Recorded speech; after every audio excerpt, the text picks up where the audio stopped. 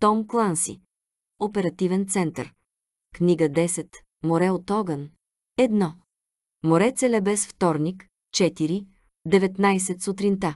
Имаше три неща, които мургавият, тъмноок сингапурец Ли Тонг знаеше много добре. Едно от тях е морето. Клющавият, но мускулест Ли бил син на покойния Хенри Тонг, трудолюбив другар на товарен кораб. Корабът на стария Тонг, 100-тонният господар на океана, бил контейнерен кораб. Превозвали са редовни товари от твърда дървесина от родното им пристанище в Сингапур до Индия. Навръщане ще носи тикови трупи, които са били изпратени от Кот Д апостроф и Вуар до Бомбай. Тези бяха за Хонг-Конг и Токио. Майката на Ли умира от хранително отравяне, когато момчето е на 5 години. Вместо да живее с баба си и дядо си в Келуан, в тяхната вътрешна ферма, Ли често пътува с баща си. По времето, когато Ли е на 13, той работи на пълен работен ден като юнга за първия помощник капитан. Пътувайки по дървения път, Ли научил различните настроения на водите. Чистата миризма на Андаманско море беше различна от тази на тарталетното, мазно ухание по крайбрежието на Южно-Китайско море. Теченията в Източно-Китайско море предизвикаха по-рязко люлеене от по-тежките, извисяващи се вълни в Тихия океан. Бурите също бяха различни. Някои бяха внезапни и свирепи. Други идваха отдалеч с достатъчно предупреждение, че пилотът може да ги заобиколи. Ли също научи за мъжете на тези одисеи. Това, което им доставяше удоволствие, което ги притесняваше, което ги притесняваше достатъчно, за да ги убие. Той научава, че парите, непретенциозните жени, цигарите, пиенето и другарството на пиенето, както и лоялността на приятелите са единствените неща, които наистина имат значение за него. По времето, когато по-възрастният Тонг починал от чернодробна недостатъчност, Ли успял да се справи само с пушенето и пиенето. Той никога нямаше да получи много повече, докато работеше върху господаря на океана или кораб като нея, поради което и Тонг пое следващата професия, която направи. Когато Ли е на 16 години, няколко години след началото на кариерата си на дървения кораб, той среща двама други млади моряци, които не искат да свършат като собствените си бащи, които са били нещастни, работейки за 3 долара на ден, 7 дни в седмицата. В крайна сметка в пристанището те седнаха с други недоволни млади мъже от други професии. Това доведе Ли до второто нещо, което знаеше много добре – пиратство. Ли стоеше на стръмния нос на сампана. Корабът не е проектиран от Сингапур. Това беше модел на пристанище Шанхай, известен също като мочи или кокошка лодка. Името е резултат от приликата на сампана с птицата, построена предимно от иглолистна дървесина, която отлежавала добре и била изключително лека, мочи била дълга 18 фута с 4 отделения, включително камбуза. Имаше двигател за бързо пътуване и 4 юлия. 13 фута, дълги гребла за тихо пътуване. Така се движеха сега петимата сампански пирати, а екипажът нали и гребеше двама мъже на една страна. Те бяха купили сампана в Китай законно, малко повече от две години преди това. Те са платили за него в брой, повечето от които са взети на заем от бабите и дядовците на Лии. Заемът е върнат в рамките на една година. Купуването на сампана беше последното законно действие, което мъжете бяха направили. В началото на кариерата си мъжете се научили как да се смесват с трафика на пристанището, за да избират плячката си, как да ги проследяват до тъмно и как да се приближават бързо и тихо. Те се научиха да бродят по морските пътища с гръб към залязващото слънце, за да не бъдат видени. Бившият полицейски сержант Койо държеше на борда си 500-канален скенер и приемник на световната лента, за да следи ограничените полицейски и военни комуникации. Той ги е откраднал, преди да подаде оставка от командването за специални операции на сингапурските полицейски сили. След вземане на проби от всички видове кораби, те се съсредоточиха върху яхти и риболовни чартери. Приемането обикновено беше добро, а съпротивата беше ограничена до възмутени думи, тъй като повечето от тези думи бяха английски. Ли не разбираше какво се казва. Сред тях само непримиримият Ко говори английски. И Кох не се интересуваше от това, което се говореше. Никой от мъжете не изпитваше огризения за работата, която вършеше. На сушата големите се възползваха от малките. Тлъстите се справиха с мършавите. В морето акулите изяждат рибата тон. И Тонг беше опитал и двата живота. Предпочиташе да е акула.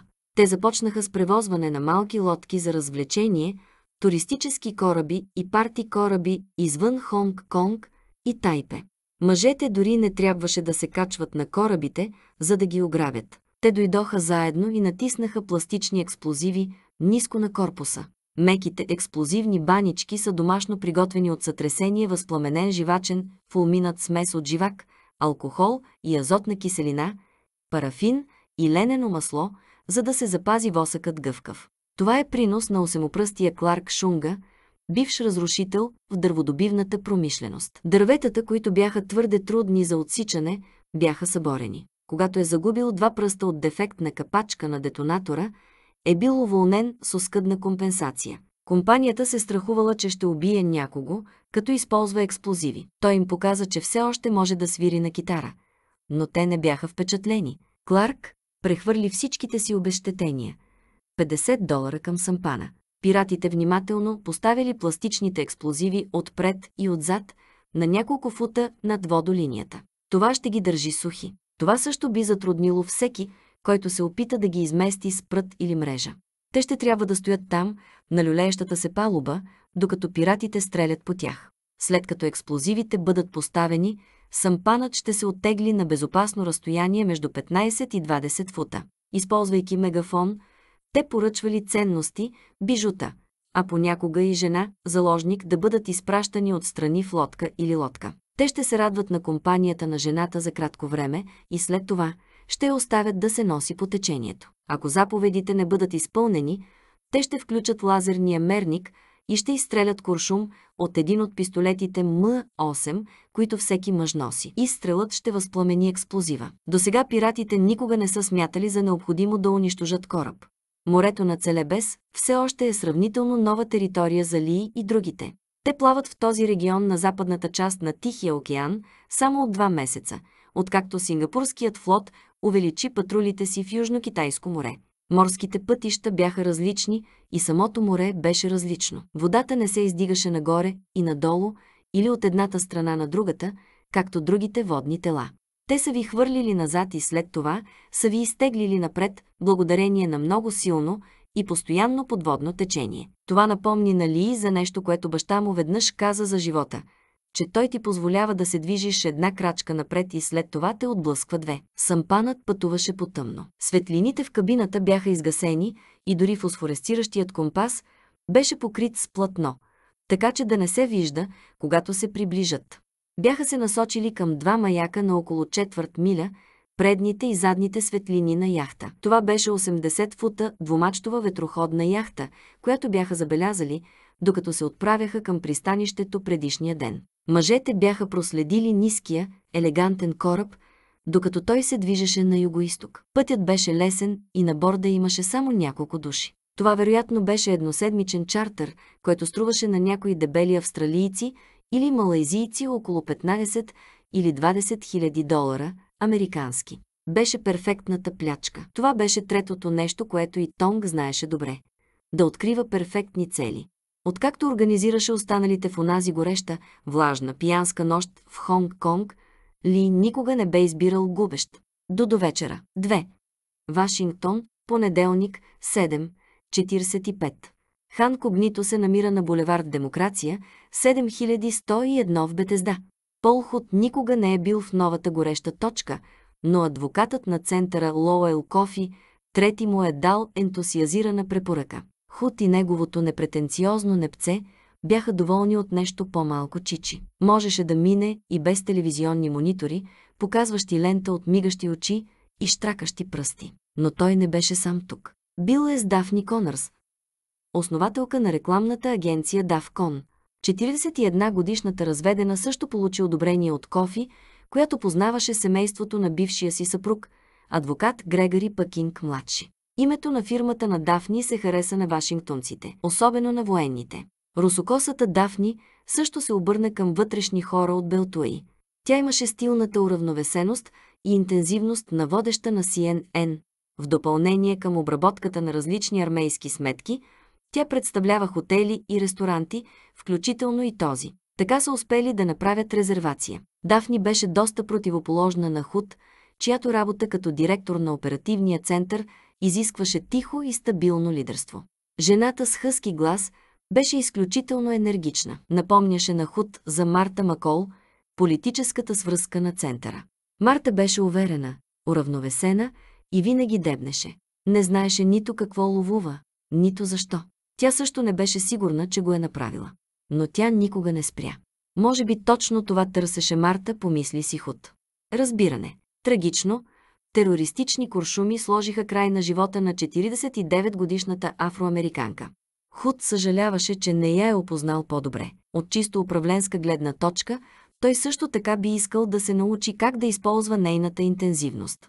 Худ се опитва да се справи с опоритата Дафни, когато описва как е основала агенцията си в колежа с комисионни, които е спечелила от продажбата на рекламно пространство в университетските вестници. Тя му разказа как се е разраснала до глобална организация, в която работят над 340 души само в Съединените щати. За 10 минути трябва да е използвала думите бутай и карай по дозина пъти. Худ се чуди как ще се справят съответните им организации, ако сменят работата си. Предположението му беше, че Кон ще бъде продаден на някакъв блудкав конгломерат и хомогенизиран. Обцентърът вероятно ще погълне НСА, ЦРУ и вероятно Интерпол. Е, може и да не е чак толкова екстремно, помисли си Худ. Бил е кмет на Лос-Анджелис. Работил е на Уолл-стрит. Преди 8 години той се върна в правителството. Худ е очарован от различните стилове на управление в публичния и частния сектор. Той се наслаждаваше на взаимните отстъпки на екипа, на предизвикателството да постигне консенсус. Нуждата от себеизразяване, която караше някой като Дафни, беше чужда за него. Това също беше малко отблъскващо. Не защото той не одобряваше, а защото се чувстваше оплашен. Бившата му съпруга Шарън беше интроспективна и много доволна да върви по течението на семейството. Дори президентите и световните лидери Худ са знаели, че е необходимо да бъдат отборни играчи. Пол. Дафни, каза над предястието си. Да. Била съм на достатъчно срещи, за да знам кога нечи мозък блуждае, казва тя. Не, аз съм тук, отговори Худ с усмивка. Тя му хвърли съмнителен поглед. Имаше закачливи ъгли около очите и устата, но едва. Разказвахте ми за безплатната работа, която вършите за индианците чумаши в Калифорния, за да бъдат защитени техните свещени пещери в района на Санта и Нес. Жената леко се отпусна. Добре, чухте ме, но това не означава, че си слушал. Уверявам ви, че бях, каза той. Този изцъклен, нефокусиран поглед, който видяхте, бяха изцъклените, нефокусирани очи на Пол Худ в края на дълъг ден на бюрократични конфликти. Виждам, каза Дафни. Тя се усмихна сега. Разбирам. Напълно. И все пак Худ знаеше, че тя е права. Преди години един приятел актьор в Лос Анджелис го научил на един трик в занаята. Тя се нарича плаващи линии. Това се прави, когато изпълнителите не са имали достатъчно време за репетиции. Оставяте думите в краткосрочната си памет, където могат да бъдат достъпни. Това оставило останалата част от мозъка свободна да наблюдава, да муза и да, да се скита. Худ е използвал тази техника, за да запомня речи, когато е бил кмет. Откакто дойде във Вашингтон, той се бе превърнал в изкуство, посещавайки безкрайни политически брифинги, които бяха всичко друго, но не и кратки. Той може да слуша, дори да си води бележки, докато мисли за това, което трябва да направи, когато се върне в оперативния център. Дафни дръпна чинията си настрани и се наведе напред. Пол, трябва да ти признае нещо. Защо? Тя се засмя. Забавно. Повечето хора биха попитали. Какво? Мислил е за това. Тя беше права. Той не знаеше защо каза това. Не съм била на среща от 7 години, каза Дафни. И се страхувам, че съм превърнала това в нещо като шоу за кучета и пони. Ако това помага, аз се наслаждавам на това, което имаш да кажеш. Ти си сладък, но не ми харесва, каза Дафни. Държа се така, сякаш съм на среща с клиент. Опитвам се да се продам. Не. Да, настояваше тя. Вие бяхте много търпеливи през последния половин час. Казах ти, че се интересувам, отговори той искрено. Не срещам много хора, които управляват бизнес. Не срещаш хора, които управляват държави, каза Дафни. Повечето от тях не са толкова интересни, колкото сте вие, отговори Худ. И това не беше линия, добави той. Това я хвана със свалена охрана. Говорете с мен за това. Повечето от тях Трябваше да пясъкостроят най-отличителните си черти, да направят всичко гладко, за да стигнат там, където са, каза Худ. Това, което остава, се ръководи от конституции или е заобиколено от местни и международни кучета-пазачи, избиратели и специални интереси. Това лошо ли е? Попита. Тя не е задължително, отговори Худ. Ние сме против диктатурите, но също така забавя напредъка до ледникова скорост. Отделният лидер не може да се движи, без цялата система да се движи с него. Все пак това, което правят, засяга повече от долната линия на една много малка частна компания. Тя се отдръпна назад. Ами ти? Какво искате да знаете? Попита. Той. Как го правиш? Отговори тя. Не изглежда да сте от онези бюрократи, които постоянно търсят достъп. Худ избра хлебче от кошницата. Натопи го в чиния с зехтин и отхапа. Той също не беше добър в това. Когато Шаран го питаше как е минал денят му, той никога не казваше много. Нямаше смисъл да се започва дълъг разговор, защото винаги имаше прекъсвания. Телефонът, децата, нещо на печката или във фурната. Интересувам се да имам достъп, който е необходим, за да си върша работата, а не да я събирам, отговори Худ. Идеалист. Худ свира мене. Това дали е? Дафни. Прес. Худ я погледна. Дафни имаше хубава усмивка. Започна от очите и си проправи път надолу. Да кажем, че се опитвам да правя това, което е правилно, отговори той. Когато се издъня, не е от злоба, така че не притежавате гена за отмъщение, който повечето хора в голямото правителство имат, каза тя. Не, каза той. Копелетата неизменно причиняват собственото си падение. И това наистина работи за вас, попита. Тя. Това ме оставя свободен да правя по-конструктивни неща, каза Худ. Дафни се засмя. Господи, ние сме много различни хора. Мразя ридание или неучтивост или хора, които ме бият в каквото и да е тя. Го погледна. Все още не вярвам, че нямате абсолютно никаква кръвожадност. Кажи ми, ако прекрачвам някакво правило за първа среща с това, но четох за мъжете, които са взели децата за заложници в Нью Йорк. Тези, които ти и екипът ти убихте, не ги ли мразеше? Това е добър въпрос, отговори Худ. Дафна имаше предвид дезертиралите мироопазващи сили на ООН, които превзеха съвета за сигурност по време на парти. Няколко деца, включително дъщерята на Худ Харли, са сред младите музиканти, които осигуряват забавление. Худ и вторият му човек, генерал Майк Роджерс, влизат в стаята и в кървава престрелка освобождават пленниците. Дафни беше загрижена за Худ. Определено мразех това, което правеха, казва той. Но не и те, попита. Тя. Не, отговори той искрено. Те загубиха. Победата ни струва нещо. Животът винаги го прави. Но това им костваше всичко, така че виждате това като нетна печалба за нашата страна, каза Дафни. Не съм толкова безпристрастен, но да, повече или по-малко, казва Худ. Ти си по-философски настроен към конфронтациите от мен, казва Дафни. Жената отново се наведе напред. Мразя враговете си пол. Презирам ги от носа до пръстите на краката си. И ги проследявам. Следя дейността им в търговските списания и по време на коктейлните партита. Ако те са ръководители в публична компания, аз проверявам акциите няколко пъти на ден. Всеки път, когато това се случи, аз съм щастлива жена. Не пропускам възможността да им прережа пръстците. Всъщност, правя всичко по силите си, за да ги получа. Е, това е бизнес, каза той. Не, Пол. Лично е. Персонализирам го. Персонализирам всичко. Не разбираш това, нали? Изглежда ми малко обсебващо, призна той. Може би това трябва да е за мен. Това е вманячено. Дафни, се съгласи. Кой казва, че това е лошо нещо? Е, винаги ще има повече врагове, отговори Худ. Не можеш да унищожиш всички. Вероятно не, каза тя. Така че не виждам каква е ползата от продължаващ конфликт с висока интензивност. Каза Худ. Живея, каза тя. Изпитваш страст към нещо всяка секунда от всеки ден.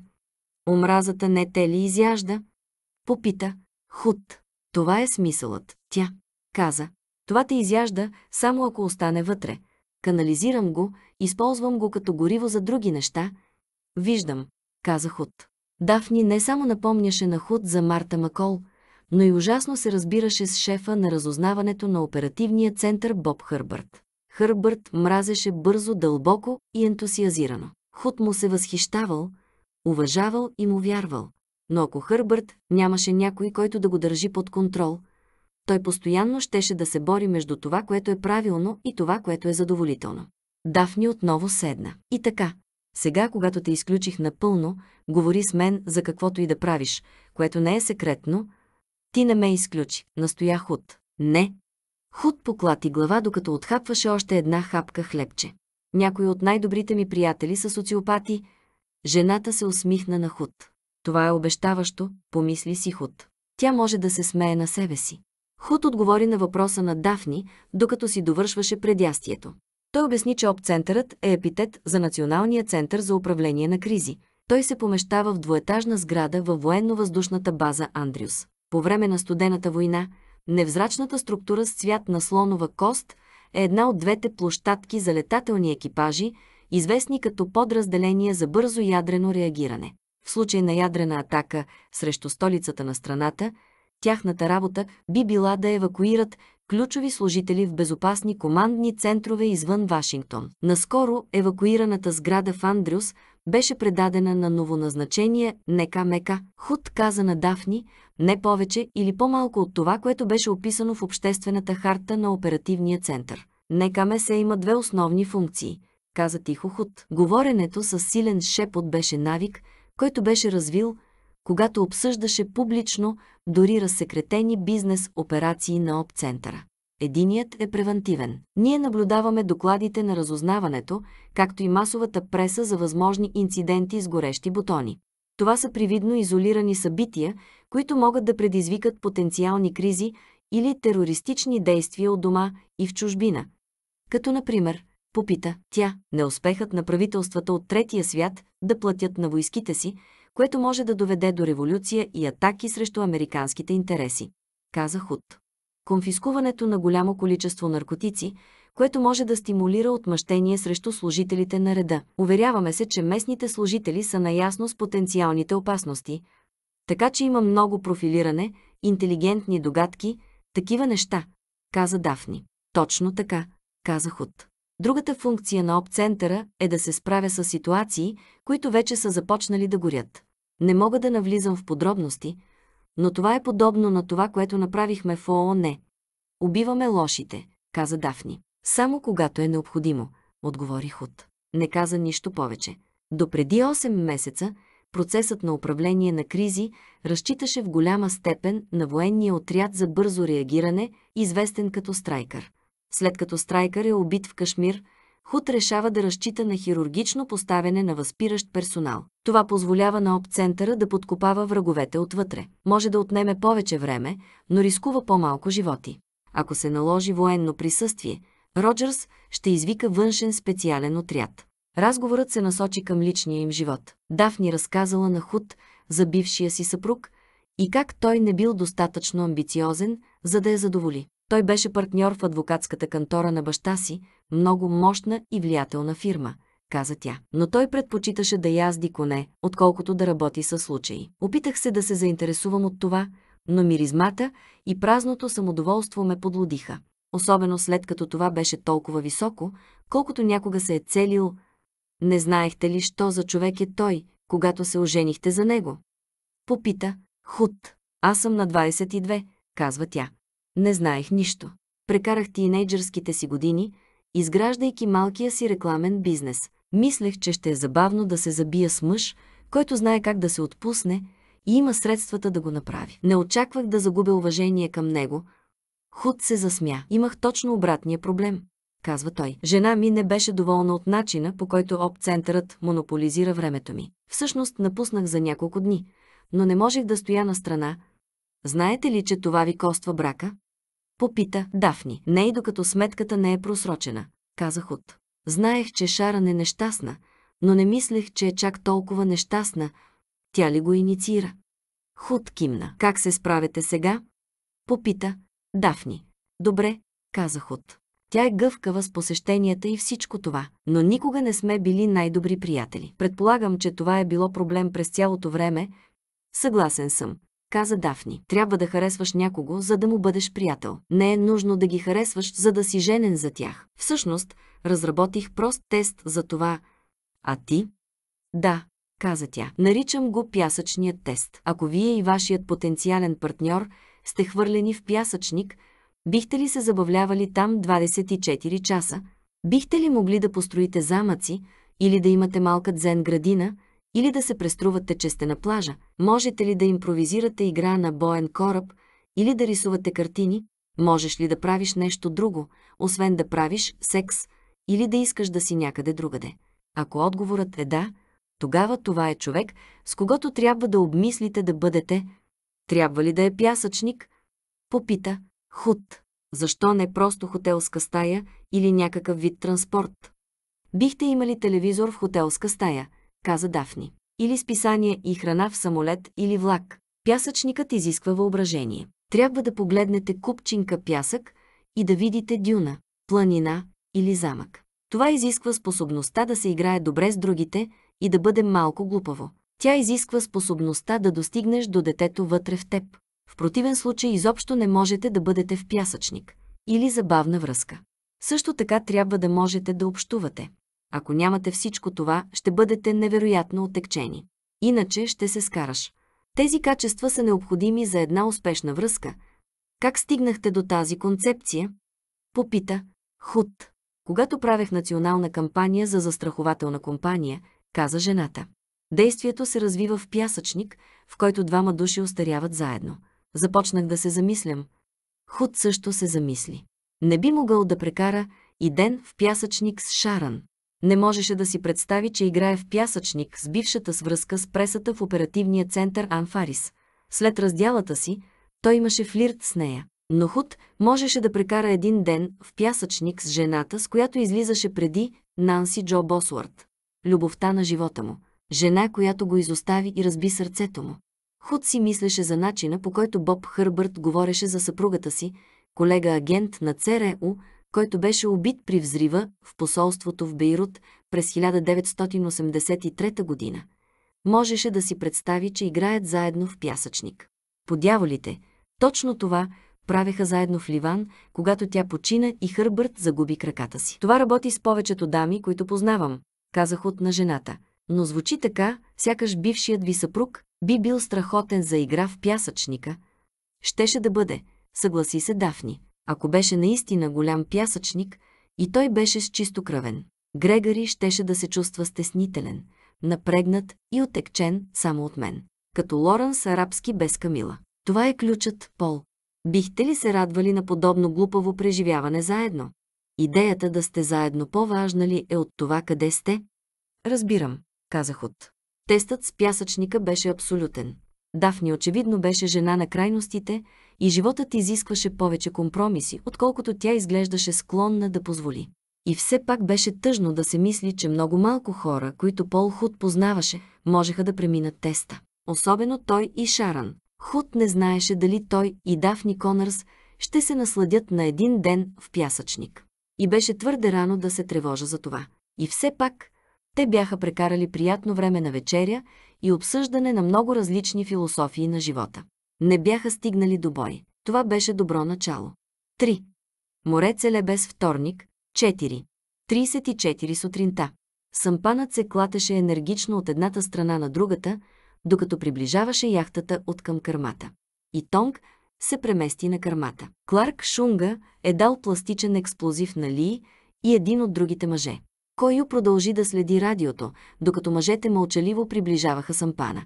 Ли беше на задната част на лодката с форма на подкова. Краката му бяха голи и краката му бяха разтворени широко, за да му помогнат да запази равновесие. Две извити дървени ръце се издигаха на три фута над седалката, към която беше прикрепен килът. Ли работеше с лявата си ръка по дългия кил с формата на юло. Водата прошепна по греблото на кила. Звукът винаги го успокояваше, особено преди нападение. В дясната си ръка държеше парче пластичен експлозив. Експлозивът е бил запечатан в нейлонов плик за храна. Покритието е предотвратило пръските и подта на лии да покрият пластичния експлозив. Влагата ще затрудни прилепването на восъчната субстанция към корпуса. Пиратите бяха хвърлили шест големи турби, пълни с пясък, над левия бряг на сампана. Това успокоило удара в случай, че съдовете се ударят един друг. Пистолетът на Ли беше прибран в износен кожен кобур, прикрепен към колана му. Носеше пистолета ниско на дясното бедро. След като експлозивите бяха поставени и сампанът се отдръпна, Ко щеше да дойде отдолу с мегафон. Той ще се обади на пътниците на яхтата. Ако е необходимо, Ли и Кларк са тези, които биха стреляли по пластичния експлозив. Сампанът беше само на няколко метра от яхтата. Корабът не беше на котва и сампанът леко се клатеше след себе си. Ли умело маневрираше скила, докато другите мъже се придвижваха напред.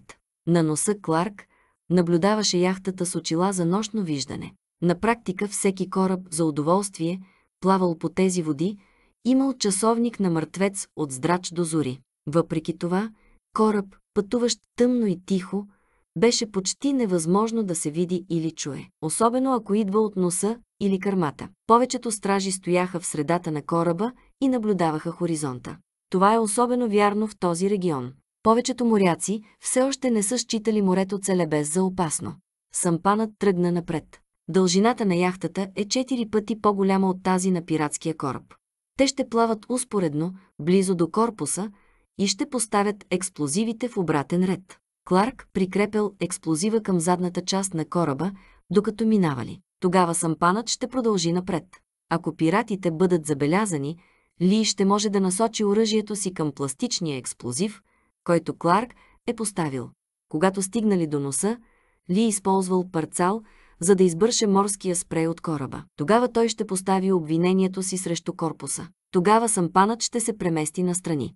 Кларк продължи да сканира кораба бавно от носа до кърмата. Доколкото Ли можеше да каже, на палубата нямаше никой. Изведнъж Кларк спря. Гледаше към едно място ниско на предната мачта. Отстъпление. Кларк, каза с силен шепот. Ли обърна кила към левия борт. Мъжете от Юло веднага преминаха към назадничеви удари. Ли се наведе на колене, за да се подготви за залитането, което знаеше, че ще последва. Сампанът трепереше докато спираше. Аеродинамичната лодка се стабилизира бързо, когато мъжете започнаха да гребат на заден ход.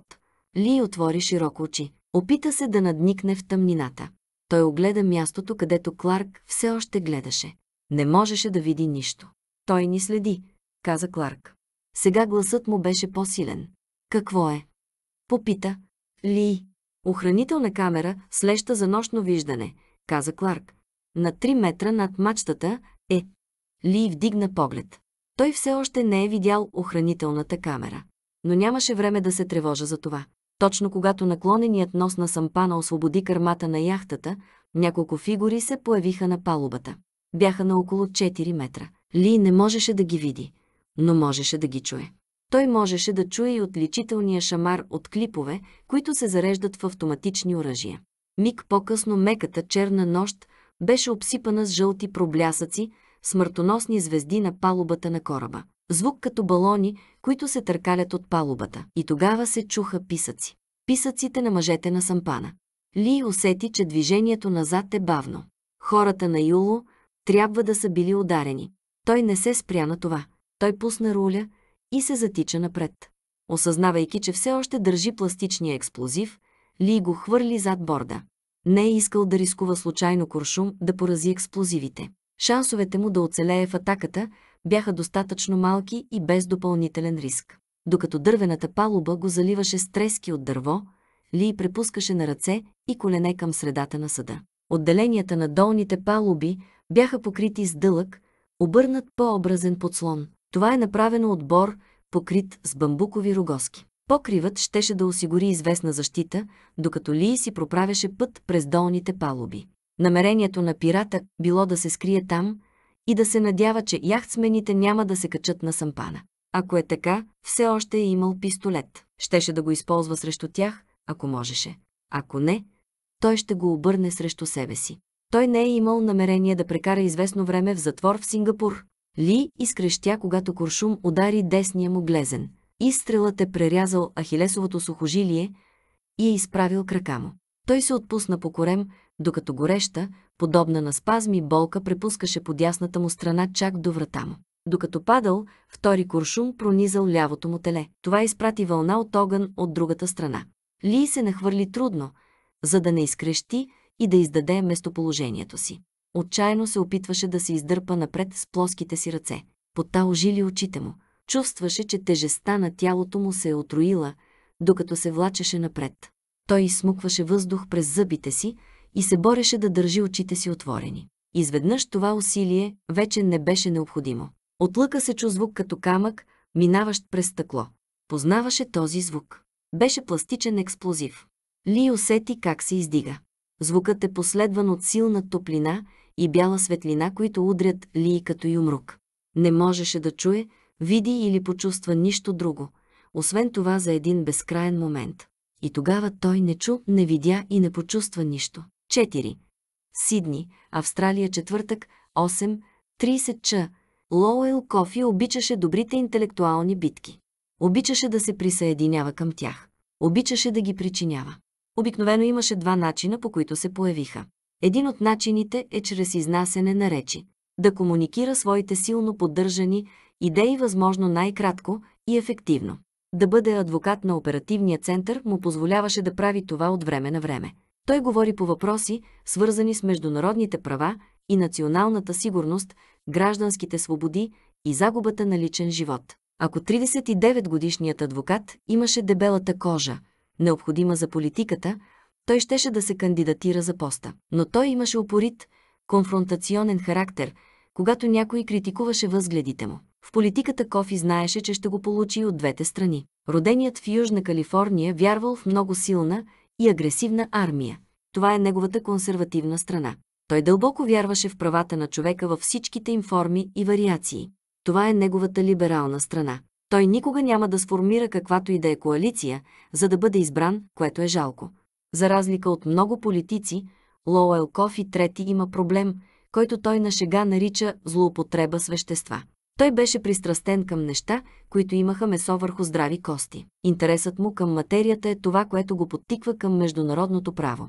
Баща му би предпочел да се присъедини към успешната адвокатска кантора Кофи и О Хер, базирана в Беверли Хилс, но докато Кофи харесваше костюмите си Армани, часовника Ролекс и Ягуара, които бяха в магазина повече, отколкото бяха навън, той също се нуждаеше от съдържание. Той го намери първо като помощник на главния прокурор на щата Калифорния, а след това като заместник-помощник на генералния адвокат на Съединените щати. Откакто се е присъединил към оперативния център преди 6 години, той е бил до цепката на брадичката си. Едва ли има нация на земята или разделение на федералното правителство, с което Кофи да не се е занимавал, откакто се присъедини към Националния център за управление на кризи. Понякога тези отношения бяха враждебни, както когато Страйкър беше хванат в борбата между Индия и Пакистан, или когато Пол Худ и Майк Роджерс стреляха в ООН, за да сложат край на безисходицата с заложниците. Често завършва обучението си на работното място, но дори международните конфронтации му дават удовлетворение, което той не би получил от договарянето на продуктово позициониране във филми за марки, дезодоранти или напитки. Личната и професионална почтеност на Кофи не пречи на колегите му да наричат калифорниеца с пясъчна коса Пърси Ричкит. Беше закачка и той се въргаляше с нея. Освен това, Кофи не може да помогне на финансовата прослойка, в която е роден. Той се гордееше с факта, че никога не е използвал семейните връзки, за да получи нещо. Кофи беше работил усилено във всяко училище, което посещаваше, и беше спечелил всяка позиция, която заемаше. Второто нещо, което високият синеок, адвокат, обичаше, беше пътуването. За разлика от повечето пътници обаче, виждането на нови забележителности не беше това, което най-много се хареса на Кофи.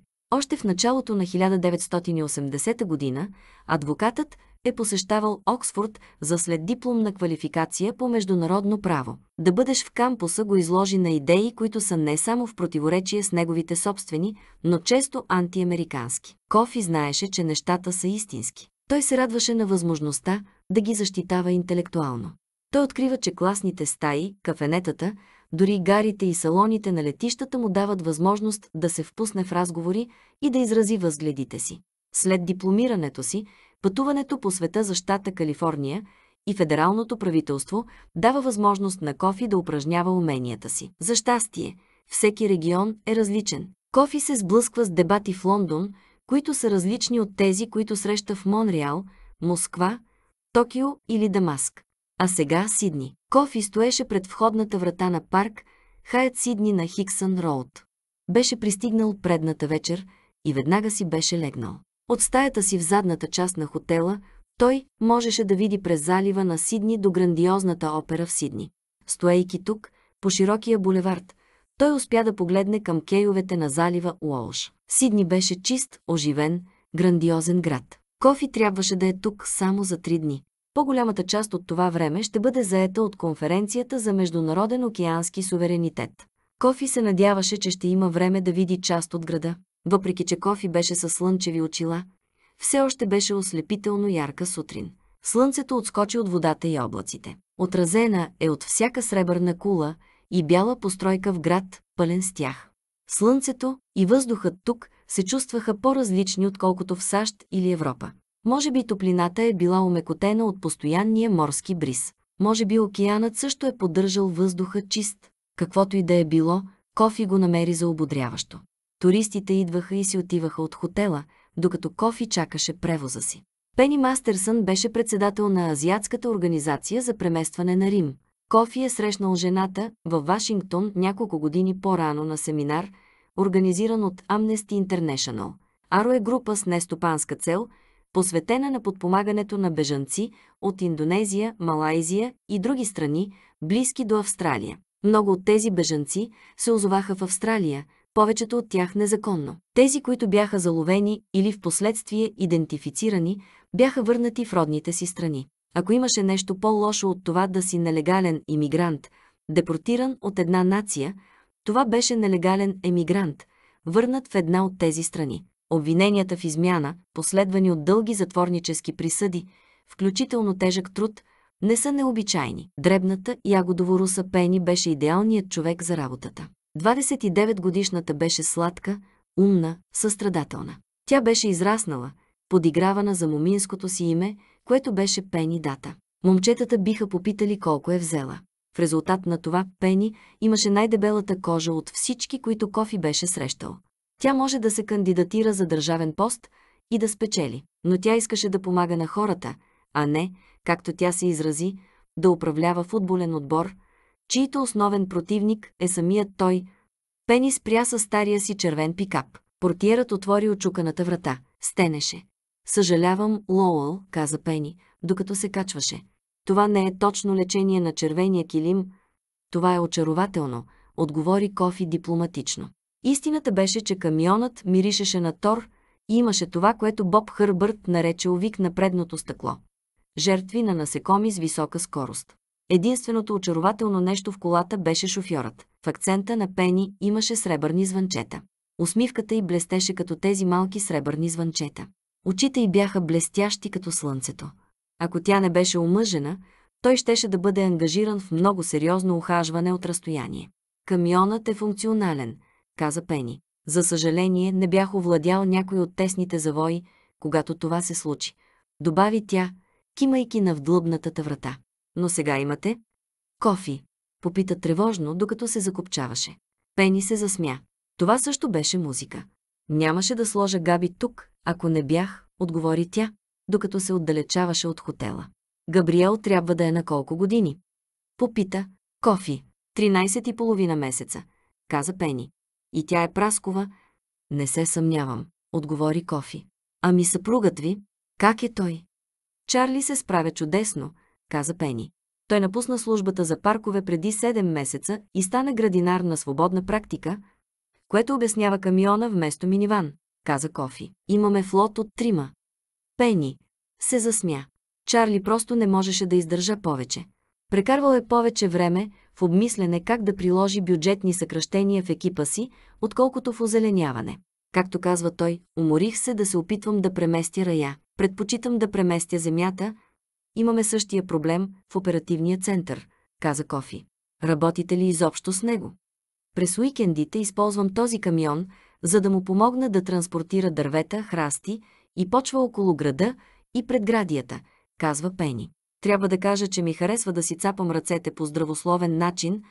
Това вероятно отвлича вниманието ви от по-неприятните неща в живота, каза Кофи. Така е, съгласи се Пени но открих, че това също служи за цел в собствената ми работа.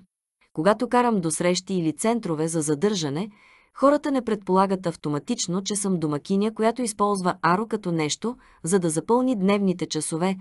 Пени зави от Хиксън Роуд. Инструменти дрънчаха в отворената задна част на камиона. Пени дори не беше наясно с звуците. Имаше нещо сладко в това, помисли си Кофи. Как се развива конференцията? Попита. Кофи. Това ще бъде най-големият от четирите, които сме държали тук, каза Пени. 32 нации, 111 представители. Закуската в сградата на парламента ще бъде първа. Най-накрая признават, че сме сила, която трябва да се брои. Когато това е готово, ще отидем до Конгресния център в Сидни. Ще говорите след вечеря, което означава, че всички ще бъдат добре нахранени и готови да седнат и да слушат. Това също означава, че Кофи ще има време да се смеси, да подслушва и да разбере какво мислят другите хора. Той ще има време да се занимава с актуални въпроси в речта си. Ще бъде ли там нашият враг Брайан Елсуорт? Попита. Кофи. Той беше поканен, разбира се, каза Пени. Той отказа, както обикновено. За мен ще бъде чест да го приема лично, каза Кофи. Вашата основна реч в Бризбейн миналата година не беше в нощното му шкафче за четене, сигурен съм, каза Пени но аз вярвам, че неговата незаинтересованост се разпространява в цялата организация. Елсуърт е бил главен адвокат на Австралийския център за морско разузнаване. Базиран в Дарвин, северна територия, микрофонът е първата линия на защита срещу нелегалните чужденци, които се опитват да си проправят път в Австралия. Те твърдят, че гражданите, които желаят амнистия, обикновено бягат в чужди посолства в собствените си страни. Що се отнася до Елсуърт, всеки кораб, самолет или сал, който влиза през задната врата, носи наркотици, контрабандисти или терористи. Според изследването на Аро, малко над 65% от тези кораби са го направили. Останалите 35% са транспортирали хора, които са били бедни, ужасени и търсещи по-малко потиснат живот. Микрофонът Първо Австралия имаше голямо влияние в парламента. По закон, нелегалните иммигранти – обикновено се връщат на мястото си на происход в рамките на 24 часа. Аро и микрофонът постоянно се бореха помежду си за начин да направят процеса по-справедлив. Докато Пени говореше, телефонът й извъня. Младата жена се извини и отговори. Може да е детегледачката. Извинява се тя. Тя удари телефона със свободни ръце, който беше закачен за таблото. Ало? Гъжо Мастерсън. Попита. Мъжки глас. Това е тя. Госпожо Мастерсън, господин Лоуел Кофи с вас ли е? Аз съм Лоуел Кофи, каза адвокатът. Кой е това? Сър, това е младши моряк Брендан Мърфи, командващ офицер Джордж Джелбарт, Мик, отговорил младежът. Името ви е от господин Брайан Елсворт. Сър, старшина, Джелбърт се чудеше дали имате свободно време днес. Тук съм за конференция, отговори Кофи. Да, сър, знаем, какво имаше предвид господин Джилбарт? Попита. Кофи. Полет до Дарвин, отговорил Мърфи. Това е ясно на целия континент. Обяви. Кофи. Защо трябва да ме вижда? Имаме проблем, сър, отговорил офицерът. Нещо, което трябва да обсъдите лице в лице. Каква ситуация? Попита. Кофи. Горещо един, сър, обаждащият се отговори сериозно. Начинът, по който офицерът от микрофона подчертава горещината, кара Кофи да вярва, че не е имал предвид температурата или предстоящо събитие. Това оставя само едно тълкуване. Има някои хора, с които трябва да говоря преди да се съглася с каквото и да е, каза Кофи, поглеждайки Пени. Ние сме малко притиснати от времето, каза Мърфи. Вие сте първото и, надявам се, единствено обаждане, което правя по този въпрос – ако реша да дойда, кога ще можеш да уредиш транспорта? Патрулен кораб Р-3 се изпратен на летището в Сидни, господин Кофи, отговорил човекът. Ще пристигне до час. Както казах, сър, старшият офицер иска да говори лично с вас. Пени и Кофи си размениха погледи. Тя натисна бутона за заглушаване. Това не звучи като покана, каза тя. Не, съгласи се Кофи. Звучеше като заповед. Какво искаш да направиш, попита. Тя, това няма значение, нали? Попита. Той. Защо не? Попита. Тя. Вие сте гражданин и американец. Можеш да кажеш на младшия моряк апостроф, не благодаря апостроф, и да затвориш. Тогава нямаше да разбера, защо Елсуърт препоръчва да се обадят, каза Кофи. Имам чувството, че микрофонът се интересува от разговори с оперативния център, а не само с Лоуъл Кофи. Какво те кара да мислиш така? Попита Пени. Предпочитам да не казвам, докато не съм сигурен, отговори Кофи. Не, че не вярваше на Пени, но той беше адвокат. Предпазлив. Той не обича да казва нещо, в което не вярва или не знае, че е истина. Кофи изключи бутона за заглушаване. Къде ще ни чака самолетът? Попита. Кофи. Ако отидете на вътрешния товарен терминал, някой ще ви посрещне, каза обаждащият се. Добре, каза Кофи. Ще бъда там. Благодаря ви, сър, каза младият моряк. Ще уведомя офицера. И Кофи щеше да информира Худ. Извини се на Пени. Тя каза, че разбира напълно. Каза, че се надява да се върне скоро. В сърцето си обаче усещаше, че това няма да се случи. Особено ако секси означава това, което си мисли, че е 5. Дарвин, Австралия четвъртък, 8, 42 ча. 52-годишният старшина Джордж Уелингтън Нил Барт беше видял и преживял много необикновени неща по време на 30-годишната си служба в Кралския австралийски флот. Илбарт прекарва първите си 12 години от военната си служба в хидрографските сили. Базиран в Уолунгонг, южно от Сидни, той и неговият екип постоянно актуализират диаграми на 30 000 км от австралийското крайбрежие, както и прилежащите води. Той обичал да пътува с кораби и самолети, създавайки карти, покриващи почти една шеста от повърхността на света. Дори когато екипът му беше хванат в тропически циклон, ураган от пета категория или цунами, той се наслаждаваше на работата, която вършеше. Както баща му го описва. Флотът поставя мускули в гърба ви. Опасността го поддържа силен. Следващите 9 години бяха коренно различни и много по-малко мускулести. Тъй като Джилбарт е толкова запознат с географията около Австралия, заместник-началникът на флота, Джонатан, Смит го премества в дирекцията на военно-морското разузнаване. Това беше през 1980-те, когато притокът на японски бизнесмени и инвеститори доведе до приток на японски престъпници. Там, в офис, без прозорци, Джел Барт помага на служителите да сигнализират за посоката и местоположението на предаванията, идващи от местните води и околните нации. Той направи това от дълг, не от любов. Накрая, на 40-тия си рожден ден, Джелбърт поиска прехвърляне. Трябваше да се върне в морето или поне на слънчева светлина. Смит се съгласи на компромис, повишил Джел Барт и го преместил в морския разузнавателен център. Там новоназначеният офицер ще бъде извън врати и ще се занимава с по-широк кръг от незаконни дейности, отколкото е имал на предишните си постове. Това е мястото, където Джилбарт се сблъсква с неочакваното на седмична база. Някои от тях бяха сърцераздирателни. Малайзийските рубовладелци отвличали деца на аборигени с товарен самолет. Имаше бежанци от опустошение от войната Източен Тимур, които бяха изхвърлени в морето с парашути от Втората световна война. Повечето бяха млади. Всички те бяха неопитни бегачи. 50 от 67 от тях се отдавили. Там бяха австралийските наркотрафиканти, които използваха сърфове с високотехнологични подслушвателни устройства, за да шпионират самолети с микрофон. Джелбърт дори е изследвал наблюдения на морски чудовища в залива Карпентария. Оказа се, че това са китайски подводници, провеждащи маневри. Но през всичките си години в кралския австралийски флот, пясъчно косият, 6 фута и 4 инча родом от Бризбейн никога не беше чувал нещо подобно. Последиците бяха смразяващи. Джел Барт пристига в офиса си в Австралийския централен кредитен съюз, улица Мичел 36, в 7 часа сутринта, в началото на 1990-те години, той пристига по-рано, за да чува телефонни съобщения и да преглежда пощата. От края на 1990-те години той трябваше да дойде в офиса по-рано, за да се бъхти чрез имейли. Ако можеше да елиминира имейлите от колегите си офицери, които бяха принудени да препращат лоши шеги, той би могъл да свърши работата за един час. За съжаление, той трябваше да отвори всяка кореспонденция, ако имаше нещо общо с военно-морски въпроси. Малко след като Джел Барт пристигна, телефонът извъня. Неговият помощник, младши моряк Брендан Мърфи, отговори.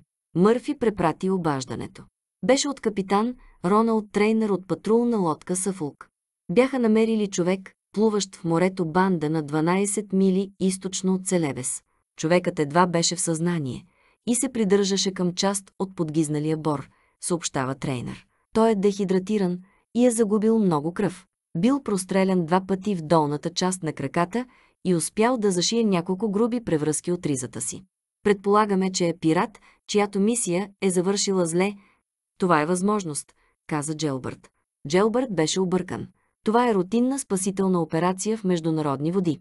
Не е задължително капитанът на кораба да му докладва лично. Но това, което ни привлече към него, беше изключително необичайно, продължи капитанът. Джелбърт се разтревожи, както обясни трейнер. Това, което открили, било не само необичайно, но и необяснимо. Старшият офицер искаше пълно разследване. Трейнер му казал, че ще търсят останалата част от кораба и екипажа, както и този, който ги е нападнал. Междувременно, раненият мъж ще бъде откаран със самолет в кралската болница, Дарвин заедно с останките от неговия кораб. Джелбарт каза, че ще се срещне с хеликоптера там, за да поеме отговорността за доказателствата и да уреди сигурността. Когато затвори, Джилбарт осъзна, че ще трябва да уведоми и главния адвокат Брайан Елсуърт. Очевидно корабокрушенецът от банда е бил докаран в Дарвин за медицинска помощ. Но другото откритие на капитан Трейнер направи това второстепенен въпрос от гледна точка на микрофона. Човекът трябваше да бъде разпитан. Имаше сложни правни въпроси около разпита на чужд гражданин, възстановен в международни води. Елсуърт е бил под душа, когато Джилбарт се е обадил. Цивилният служител живеел със съпругата си в ексклюзивната резиденция Ла Гранде на улица Накли. По настояване на старшината госпожа Елсуърт го извикала на телефона. Джилбарт обясни ситуацията така, както му беше обяснено. 40-годишният адвокат помисли минута, преди да отговори. Ще се срещнем в болницата, отговори Елсуърт. Има още един човек, на когото искам да се обадя. Кой? Господин на име Лоуъл Кофи, каза Елсуърт. Той е в Сидни за конференция за международните граждански права. Това ли е симпозиумът? Да, каза Елсуърт.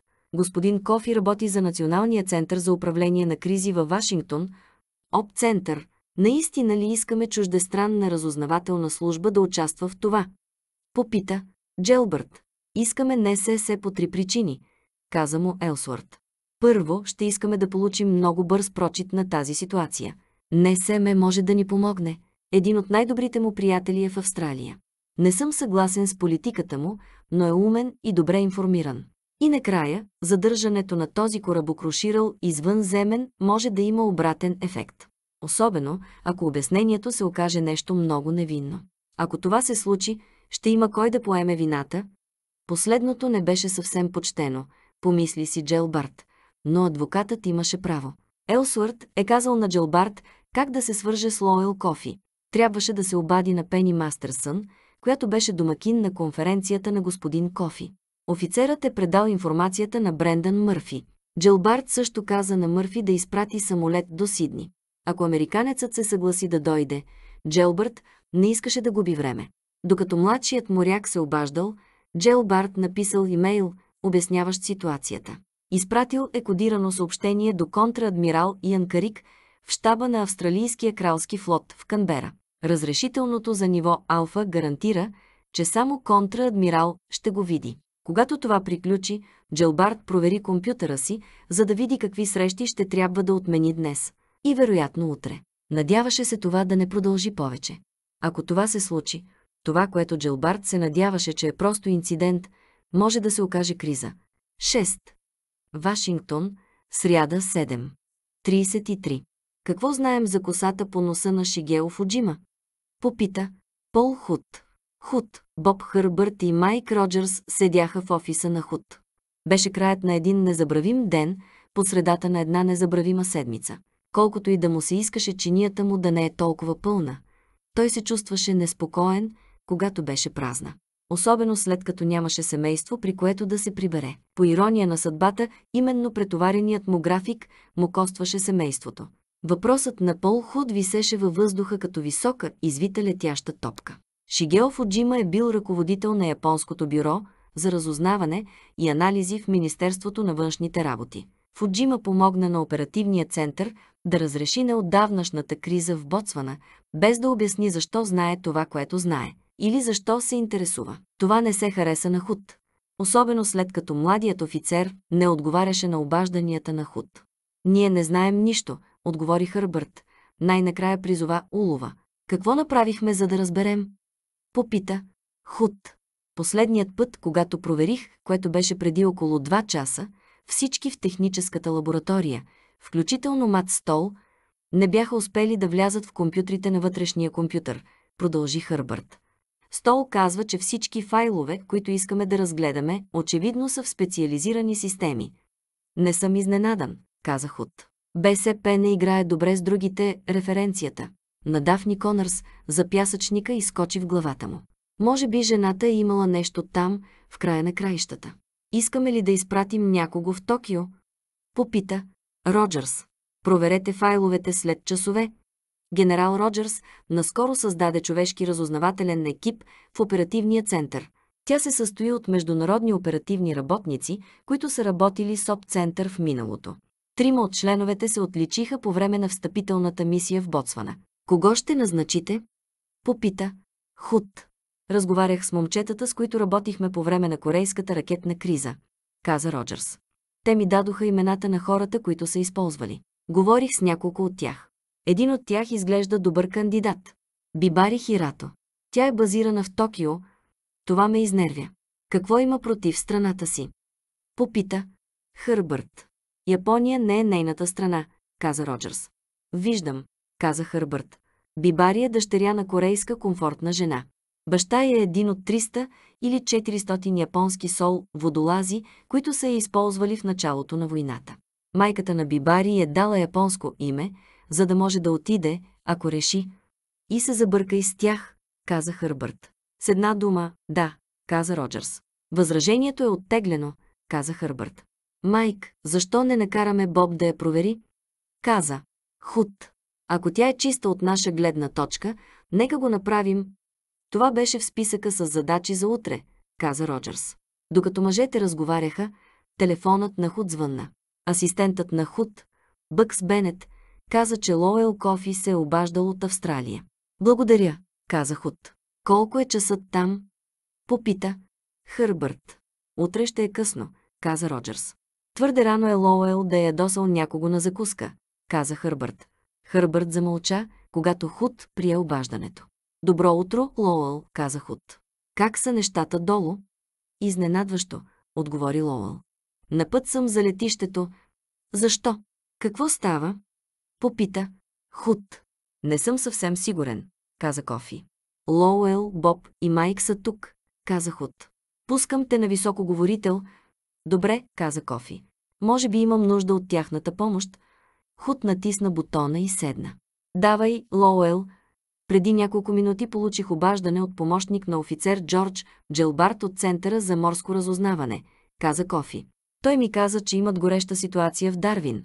От това, което успях да премина през несигурна линия, апостроф, горещо апостроф, вероятно означава едно нещо. Радиоактивно, каза Худ. Правилно, отговори Кофи. Худ усети студ в гърба си. Даде ли ви някакъв контекст, някакъв сценарий? Попита. Худ. Нула, каза Кофи. Но аз бях на мобилен телефон и той очевидно не искаше да каже много. Казаха ми само, че има самолет, който ще ме откара до Дарвин. Хърбърт вече беше замахнал към лаптопа, прикрепен към инвалидната му количка.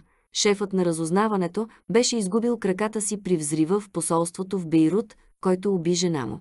Той е имал безжичен интернет на лаптопа, както и възможността да се включи всеки от компютрите на оперативния център, използвайки каишка местен изпълнителен достъп до сигурна връзка.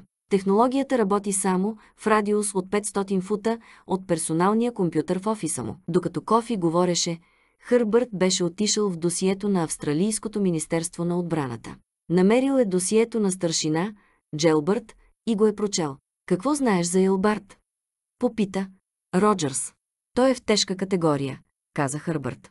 Говореше достатъчно силно, за да го чуе Кофи. Той е на 52, професионален офицер, разведен два пъти без деца. Ръководи крайбрежната разузнавателна мрежа и има опит в картографирането и сигналното разузнаване. Похвала до уши. Боб, има ли ядрени подводници в района на Дарвин? Попита. Роджерс. Чудя се дали може да има теч. Не ми беше дадена тази информация. Това може да бъде и сателит, захранван с плутоний, който е паднал на Земята. Предполага Худ. Предполагам. Съгласи се Кофи. Но защо Елбард ще ми се обажда за някоя от тези неща? Първата ми мисъл беше, че може да има цивилни жертви в резултат на някакъв инцидент. Вероятно американски цивилни жертви, посочи Роджерс. Точно така. Но няма ли първо да отидат в посолството? Попита. Кофи. Не е задължително, каза Худ. Ако те са били небрежни по някакъв начин и са искали да си покрият задниците, наличието на международно известен адвокат по правата на човека на място би било хубаво козметично докосване.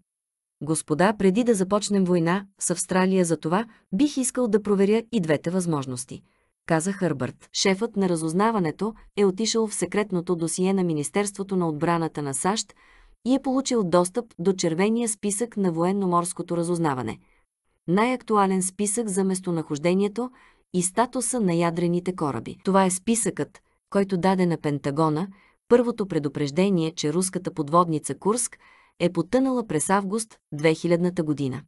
Списъкът също така показва състоянието на деветте крилати ракети, които са били извадени от подводницата и отнесени до строго секретната корабостроителница Нерпа, разположена в устието на залива Оленя Губа в Мурманск. Списъкът включва кораби с ядрени двигатели и ядрени ракети. Хърбърт казал на другите, че само китайският народоосвободителен флот има кораб, действащ в региона, подводница с балистични ракети клас Ся. На борда нямаше никакви проблеми. След това той отиде на сайта на Националната разузнавателна служба, за да провери за ядрени сателити и изследователски кораби. Хърбърт съобщи, че в списъка за извеждане на хардуера няма сигнали. Определено се надявах, че е един от тях, каза Хърбърт. Худ не трябваше да пита защо.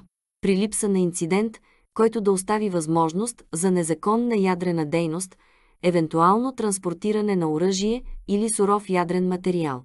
Лоуел има ли атомни електроцентрали в района на Дарвин? Попита Роджерс. Вече попитах домакина си, каза Кофи. Тя каза, че не вярва, че има... Аз съм с теб, Лоуел, каза Хърбърт. Нищо лично, но съм обезпокоен от факта, че те поискаха теб, вместо официален представител на федералното правителство. Аз също, каза Кофи. Знаем ли, че те не са направили и това? Попита. Худ. Казаха ми, че съм единственият им, казва Кофи. Помощникът на Джелбърт може да не е разполагал с тази информация, посочи Худ. Доколкото знаем, Американското посолство е уведомено. Ще трябва да оставим нещата така, докато не разберем повече. Очевидно трябва да има правен въпрос, каза Хърбърт. Нещо, което изисква експертизата на Лоуел в международните отношения. Това изглежда има смисъл, каза Худ. Лоуел, след колко време ще стигнеш до летището? Около 15 минути, отговори Кофи. Може би до тогава ще знаем повече, каза Худ. Лоуел, кажи ни какво ще откриеш възможно най-скоро. Разбира се, каза той. Худ му пожела всичко най-хубаво и затвори. Той погледна към другите. Боб, има ли история на ядрен трафик в този регион? Отговорът е възможно, каза Хърбърт.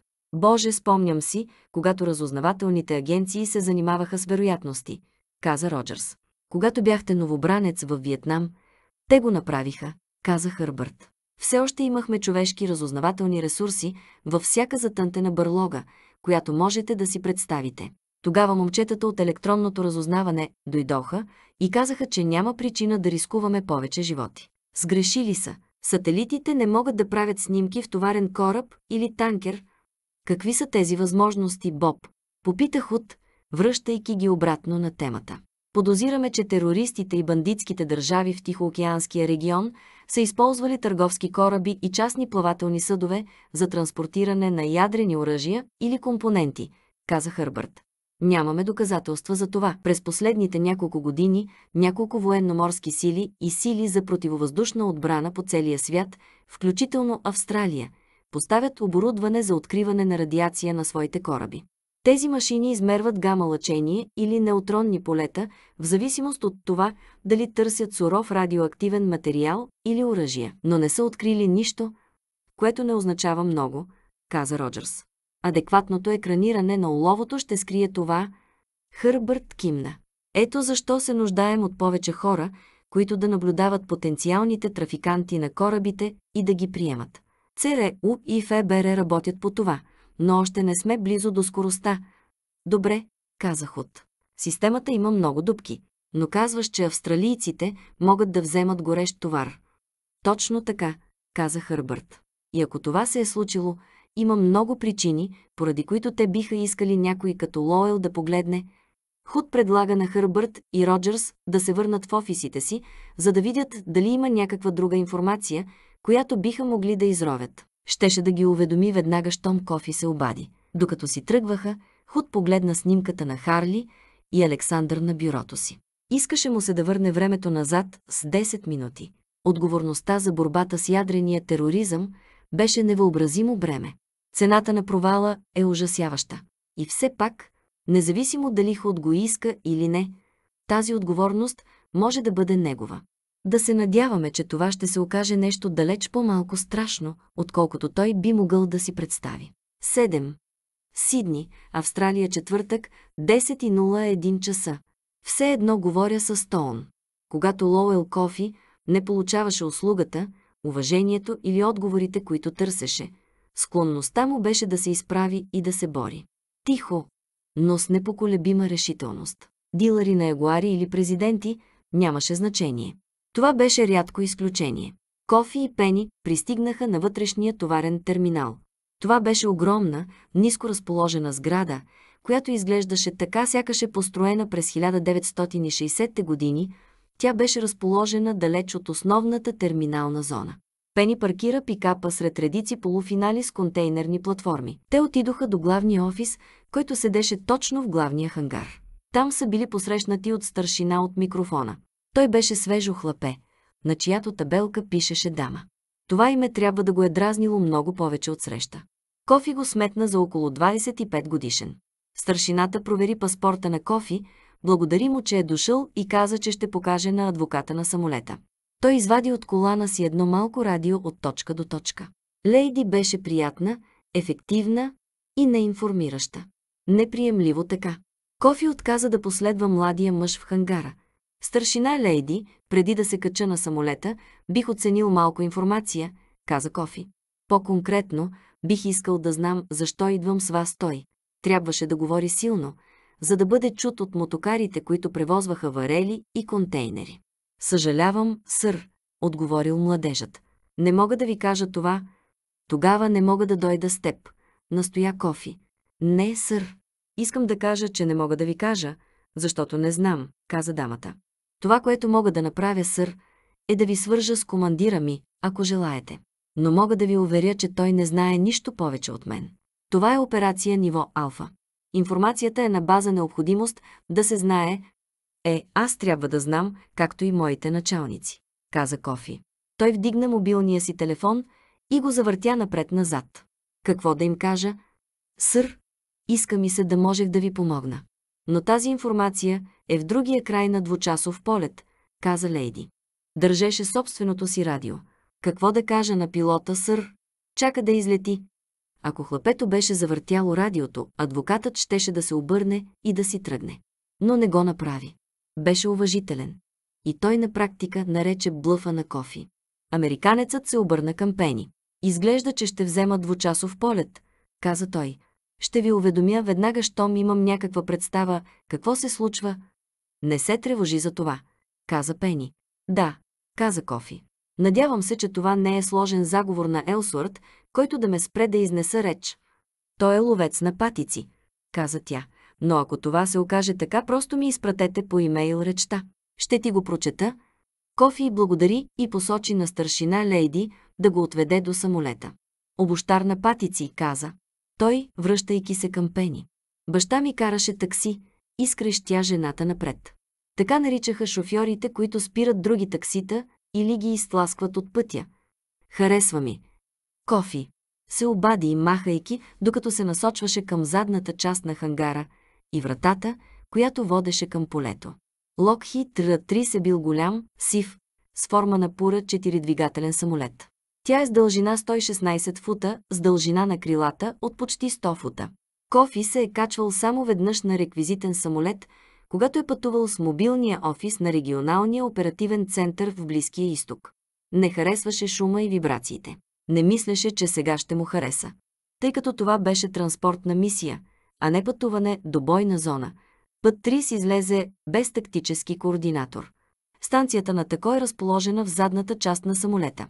След като старшина, Лейди предаде кофи на екипажа, капитанът му даде координаторското място. Според пилота това е най-топлото и удобно място в самолета. Самолетът започна да ролира още преди кофи, да се е закопчал за изтърканата червена седалка. Адвокатът се обърне към лявата страна, докато самолетът се издигаше във въздуха.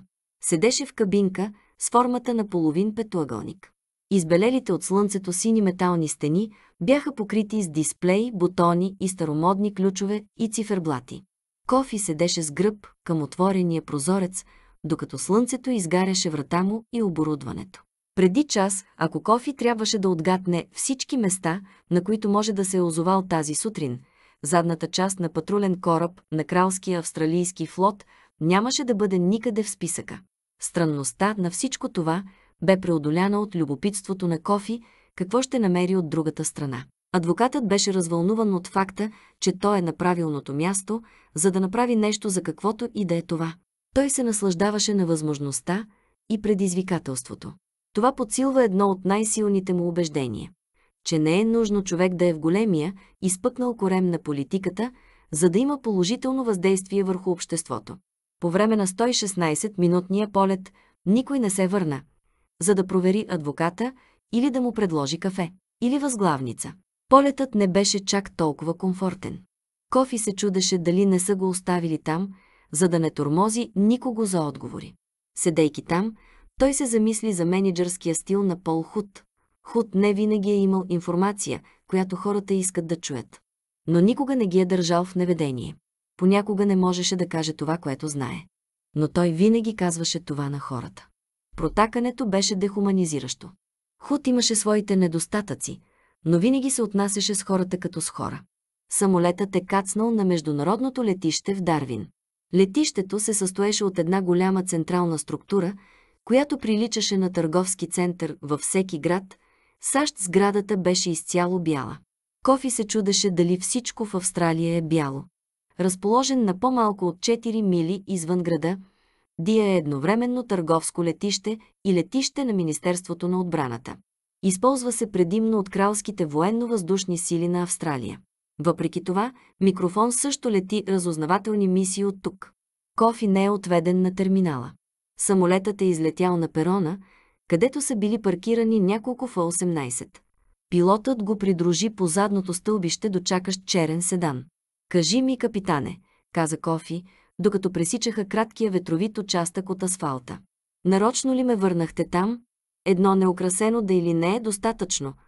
Да, сър, направихме го, отговорил капитанът. Последващ въпрос, каза Кофи. Защо ме остави сам? Защото ни беше казано, сър, каза пилотът. Добре, помисли си Кофи. Поне това беше честно. Пилотът го предаде на старшината, който стоеше до колата. Мъжете си размениха поздрави, а пилотът си тръгна. Старшината отвори вратата и Кофи влезе. Имаше стъклена преграда между предната и задната част на колата. Очевидно не са искали да говори и с шофьора. Колата забърза, пренасяйки Кофи по край гора от високи цветни каменни стълбове, които стояха в малък зелен парцел до сградата. Кофи ги разпознал от книгата за турнета, която бил прочел по време на полета си до Австралия.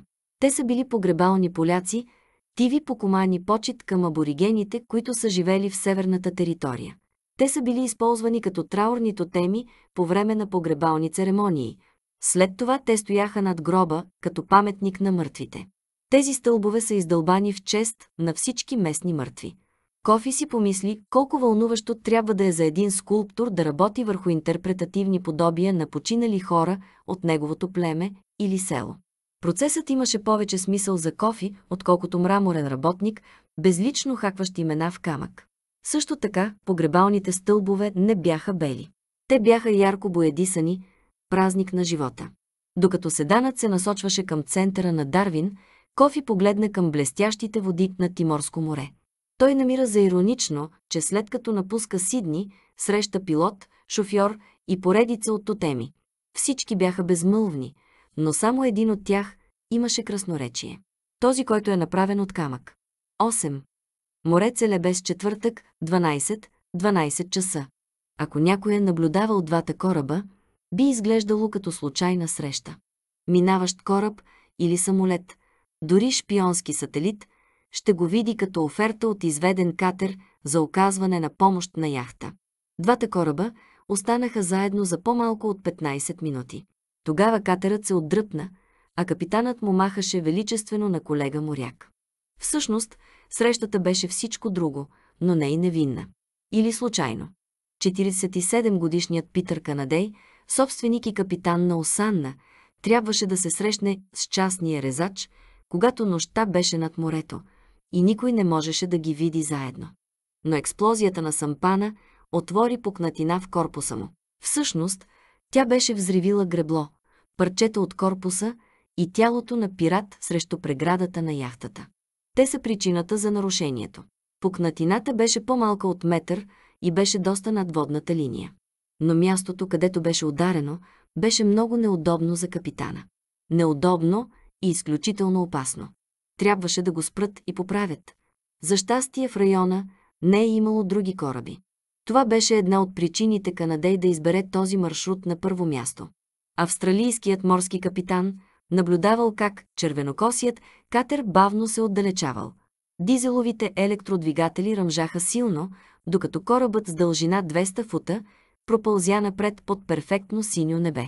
Машината е била собственост на военноморските сили на Република Корея, купена от САЩ през 1950 година. Сега тя е собственост на Махатхир Бин Дахман от Малайзия, който я използва като част от своята глобална операция за обезвреждане на отпадъци. Капитанът на кораба Джафар каза, че Дахман е бил много загрижен за рисковете от пикап през деня. Джафар го увери, че всичко ще е наред. Даман реши да се довери на човека си на местопрестъплението. Джафар беше прав. Всичко мина добре. Канадей не мислеше, че собственият му шеф ще бъде толкова разбран. Канадей се притесни, че трябва да се тревожи за това. Корабът имаше офицер по сигурността за това. Някой, който е бил назначен от самия шеф. Канадей се обърна от палубата и слезе долу. Той извади цигарата от джоба на ризата си. Той я запали и направи няколко бързи тегления. Петимата охранители слязоха преди него. Те бяха в процес на връщане на автоматичните си оръжия в оръжейните стелажи. Винаги са били на штрек по време на трансфер. Останалата част от екипажа се занимаваше с работата си по плаване на яхтата обратно към Австралия. Яхтата принадлежи на Канадей и някои от членовете на екипажа са били с него почти 7 години. Те бяха лоялни, макар и не непременно към него. Харесваха парите, които изкарваха без данъци, и работата беше лесна. През по-голямата част от времето Осана се преструва, че прави обиколки по крайбрежието или риболовни писти. Те искат да бъдат видени на възможно най-много места. Членовете на екипажа се представят като клиенти, които плащат. Между тези по същество празни круизи, екипажът е ветеран от безброй независими контрабандни операции. Те са превозвали хора и стоки из цялото южно полукълбо, от Австралия до Южна Америка. Хората от охраната не са работили за него. Те работеха за Джон Хоук, който работеше за Джървис Дарлинг. Гъста мъгла от недоверие циркулира между тях и ветераните от екипажа на Канадей. На хората на Канадей никога не им се е налагало да защитават кораба и товара си. Те могат и ще го направят, ако е необходимо. Екипът на Хоук никога не е плавал с яхта. Всеки от тях вярва, че може да свърши по-добре работата на другия. Моряците винаги са се чувствали така. За съжаление, това, което се случи предишната нощ, предизвика разочарование и в двата лагера. Моряците смятат, че охраната е трябвало да види сампана преди да се стъмни. Имаха радар и сонар, инсталирани в радиостаята от техниците на Дарлинг. За съжаление, сампанът беше толкова малък, че буквално се изплъзна от радара. Екипажът на Канадей смята, че след като заплахата е идентифицирана, хората по сигурността трябва да са предвидили, че на борда може да има експлозиви. Те биха могли да променят курса, за да избегнат заплахата, както винаги са правили, преди да отидат да работят изключително за Дарлинг. За съжаление, графиците на Дарлинг и неговите партньори не позволиха време за полет. Те трябваше да товарят и разтоварват материалите възможно най-скоро. Жалката ирония беше, че с изключение на експлозията, всичко беше минало перфектно. Системата за сигурност и отбранителната реакция работеха. Час преди да се срещнат с Джафар, усъвършенстваният морски радар засече сигнал. Племенникът на Дарлинг, Маркъс, бе съобщил за това на Канадей, който бе наблюдавал 7-инчовия цветен монитор в комуникационната зала. Те са наблюдавали приближаването на сампана на охранителната камера за нощно виждане, прикрепена към главната предавка. Те решиха, че екипажът са пирати, които се готвят да се качат на борда. Охранителен екип излезе на палубата и ги извади. За да не ударят доставките на гориво или складираните боеприпаси, те се насочиха към мъжете, а не към сампана. Въпреки, че са взели предпазни мерки, повторението на видеото от охранителната камера показва какво се е случило. Куршумите поразили експлозивите, които един от пиратите носел. Може би пиратите са възнамерявали да се опитат да осъкатят яхтата и да предотвратят преследването. Във всеки случай, ръчният експлозив е взривил и повредил яхтата. Нямаше начин да видя това. Нямаше как да го предвидя. И, за съжаление, няма начин да се предпази от него. Яхтата е разделена на 10 стаи. Шест от тях са за екипажа, един за муниции, един за канадей и един за комуникации. Десетата стая, стаята, която беше повредена, беше за техния товар. Канадей се спусна по мукетения централен коридор до стаята, където ремонтите все още продължаваха. За щастие всички вътрешни стени бяха обезопасени. Канадей спря до 30-годишния Джон Хоук, неговия офицер по сигурността. Хоук беше в контраст с високия, преждевременно сребристо кос Канадей. Жилавият, 5 фута и 9 инча Хоук беше това, което хората от родния му Котамундра, Южна Австралия, наричаха Монг, Мелес, син на канадски баща и аборигенска майка. Въпреки това, никой, който познава Хоук, не използва презрителния термин. Мълчаливият моряк носеше ломера в колана си. Традиционното дарукско оръжие е закачена дървена пръчка, използвана за хвърляне на стрелички с сила и точност. Стрелата беше поставена в кух край и след това хвърлена, като топка за Джая Лай. Канадей видял Хоук да използва оръжието върху морски птици за тренировка. Очите му бяха любимата му мишена. Крясъците им бяха като горска музика за него, произвеждайки единствената усмивка, която Канадей някога е виждал. Очите на Холк бяха бледосиви в лицето на тъмна ръжда. Косата му беше черна и къдрава и носена на дълга до раменете конска опашка. Той се движеше с стабилната, флуидна грация на човек, прекарал по-голямата част от живота си на палубата на кораб. Най-странното при него беше, че почти винаги подсвиркваше. Освен когато беше на палубата през нощта, свиреше местни мелодии. Никой не го попита защо и никой не го помоли да спре. Не само, че имаше страхотно присъствие, но беше подбран лично от Дарлинг. Точно сега Холк стоеше пред товарната врата. Носеше радиослушалки. Той е разговарял с тримата членове на екипажа, които са били в стаята. Канадей предложи на Холк да си дръпне от цигарата. Холк отказа с едно поклащане на глава. Как върви? Попита. Канадей. Господин Гибънс казва, че външният корпус ще бъде достатъчно поправен, за да стигнем безопасно до залива, казва Холк. Добре, отговорил Канадей. Благодари на момчетата от мое име. Ще докладвам на шефа. Холк не отговори. Канадей не го очакваше. Ако нещо не трябваше да се казва или посочва, Холк не направи нищо. Канадей мина покрай него по коридора. Той беше на раменете на служителите по сигурността, които се връщаха от стаята с мунициите в каютата си. Лабораторията беше направена от предната кабина за гости. Радиостаята беше сглобена в задната каюта за гости от десния борт. В центъра на яхтата беше кръчмата. В центъра на трапезарията бяха издигнати стени. Охраната спеше в хамаци, хвърлени на пристанището. Екипажът на Канадей спеше на десния борт. Каютата на Канадей беше отзад. С изключение на времето за прехвърляне или извънредни ситуации, екипът по сигурността остана долу. На пръв поглед, Осанна беше просто яхта за удоволствие на чартер. Канадей почука на вратата на комуникационната барака.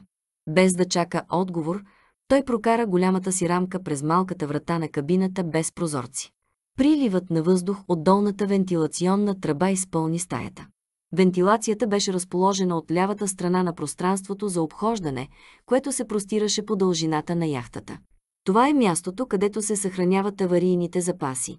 Това е и мястото, където се съхраняват несмъртоносни контрабандни стоки, като наркотици или политически бежанци. Зеленокосият офицер по комуникациите вдигна поглед от леглото си.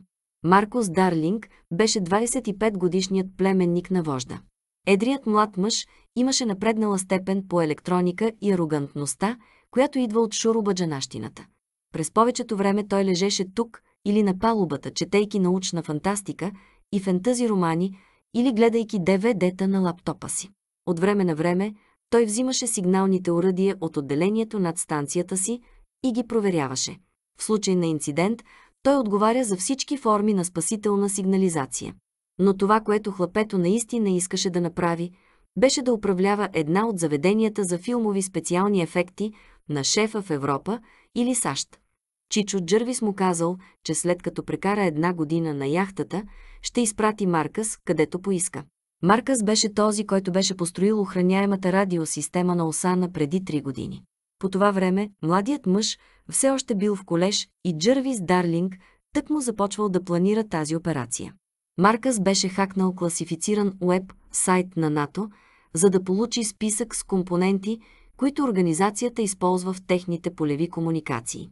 Сърцето на системата е цифров криптиращ модул, който може да бъде свързан с аналогови радиостанции. Минавайки през персонален компютър, ДМ непрекъснато модулира частотите, докато съобщава промените на компютър в приемащия край. Беше почти невъзможно да се декриптира комуникацията без компютърния софтуер. Маркъс остави на страна научно-фантастичния роман, който четеше.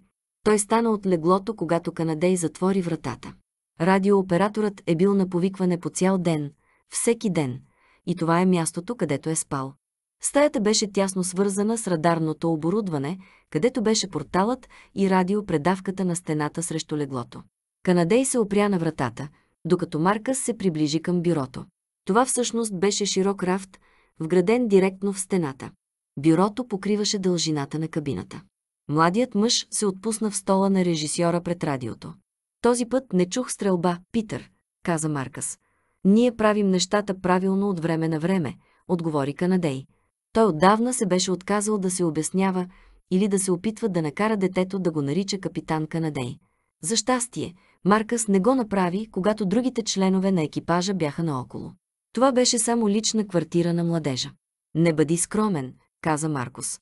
Вие и вашият екип правите нещата правилно през повечето време. В гласа ти има но, каза Канадей. Имаш добри уши, каза Маркус. Но, което чувате, е, че Чичо Солти обича нещата да са правилни през цялото време. Той не обича филми, които пропадат, списания, които не носят печалба и недвижими имоти, които губят стойност.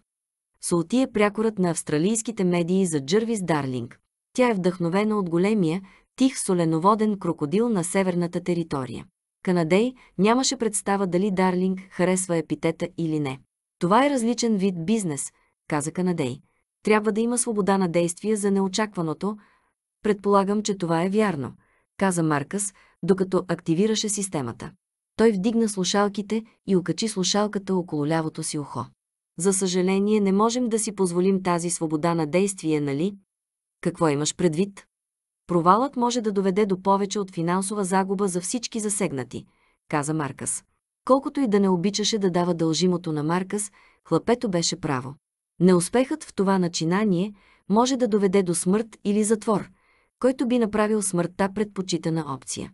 От друга страна, подобно на всички мъже на борда, Канадей очевидно смяташе, че рискът си заслужава. Канадей печелеше по 75 000 долара на седмица. Хората му взимаха по 6 000 всеки. Дарлинг е сложил парите в доверителна сметка на Каймановите острови. В края на всеки две години парите ще бъдат техни. Те имаха 6 месеца, за да отидат на този крак. И не им се е налагало да извършват друг вид контрабанда за този работодател. Без наркотици, без оръжия, без терористи.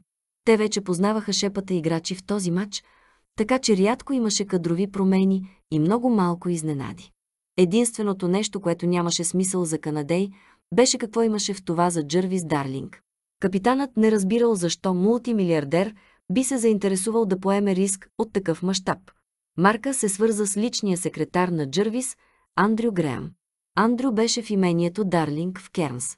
Секретарят каза, че ще прехвърли обаждането на личния телефон на Джървис Дарлинг. Маркус подаде слушалките на Канадей. Канадей постави цялата единица над главата си. Маркъс не стана така, че Канадей се облегна на металното бюро. Той погледна към термометъра, подобен на спектрометър на стената пред него. Един кабел минава от основата на устройството до компютъра на Маркъс. Друг се затича към батерията на бюрото. Устройството консумира много електричество, но те не могат да си позволят да бъдат без него. Тази стая е свързана с лабораторията. Ако има теч, софтуерът в компютъра на Маркъс ще забележи фотопеак на вътрешната си графика. Това ще предизвика аларма. Връзката ще отнеме около 5 секунди. Бяха 5 много дълги секунди.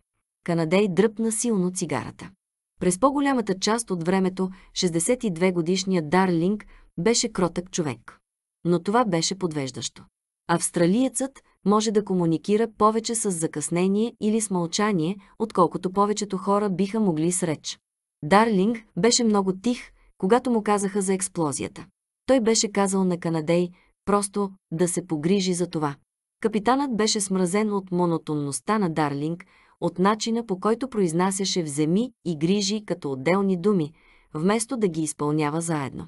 Да се надяваме, че новината за успешен трансфер от кораба на Дахман ще го успокои. Продължавай, каза Андрю. Сър, прехвърлянето е завършено, каза Канадей. Никога не са използвали името на Дарлинг в ефир. Въпреки, че е малко вероятно, винаги е имало шанс сигналът да бъде прихванат и интерпретиран. Добре, отговори Дарлин. Ще говорим за това, когато пристигнете. Капитане. Имаше штракване. Канадей се чувстваше така, сякаш бе ударен силно в корема. Дарлинг затвори. Канадей не очаква упрощение, но се надява на неутралитет. Той не разбра това. Имаше пауза между пристигане и капитан, Канадей. Не знаеше дали това означава, че е ваша отговорност да защитите кораба или да се насладите на титлата, докато все още е ваша. Канадей махна слушалките. Чичо Солти хапна ли? Попита. Маркус. Без дори да си отвори кървавата уста, отговорил Канадей. Той отвори вратата. Не се притеснявайте, каза Маркус. Може би Чичо ми ще се откаже от това. Ако не хванете първата вълна, често изобщо няма да я хванете. Когато бях дете, го видях да прави това в един от филмите си. Звездата му драскаше по част, сякаш търсеше злато. Три дни след началото на снимките, режисьорът вече изоставаше с 6 дни от графика. Чичо Солти не можеше да крещи на голямата си звезда, затова тръгна след една от гардеробиерките й. Една сутрин се появи на снимачната площадка и я сдъвка, че е бавна. Зарязах Мики. Звездата на Чичо Солти работеше много по-бързо след това. Ще се постарая да предупредя гардероба си, каза Канадей. Това не е филм. Чичо ти не може да си позволи да остави нещата така. Той не може да отпише провал на данъците си. Това е вярно, каза Маркус, когато се върна в леглото си. Той свира мене. Опитвах се да ти дам някаква надежда. Забрави, че съм казал нещо Маркъс. Взе романа си и продължи да чете. Канадей напусна комуникационната зала. Трябваше да знае, че не трябва да води диалог с Маркъс. Не само, че хлапето обичаше да го ощипва, но Канадей вярваше, че Маркъс и Холк имат нещо.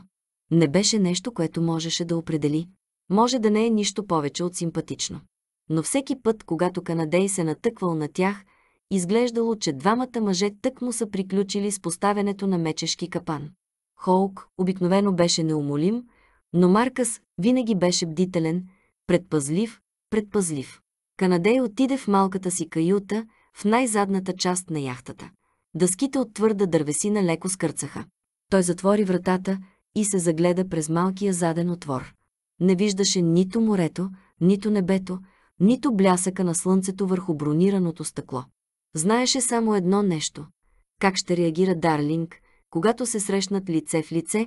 Канадей знаеше твърде много за тази операция, за да може магнатът просто да го уволни без останалата част от заплатата му. Освен това, Дарлинг ще трябва да си купи друга лодка. Ако се опита да вземе този, новият капитан на Осана ще трябва да обясни какво се е случило с стария капитан. Ще има разследване, както и да е, Канадей не вярваше, че Дарлинг ще го убие. Имаше слухове за минали дейности от този вид, но екипът на Канадей не беше глупав. Ако нещо се случи с Канадей, те няма да чакат. Те ще вземат яхтата в морето и ще се изгубят в първото претъпкано пристанище. Канадей също не мислеше, че Дарлинг ще рискува положението, което имаше. Разбира се, може да има по-големи проблеми, за които да помисли Дарлинг. Въпроси, които биха могли да надделеят над тези други опасения. Дарлинг може да почувства, че трябва да даде урок на мъжете по този или други операции.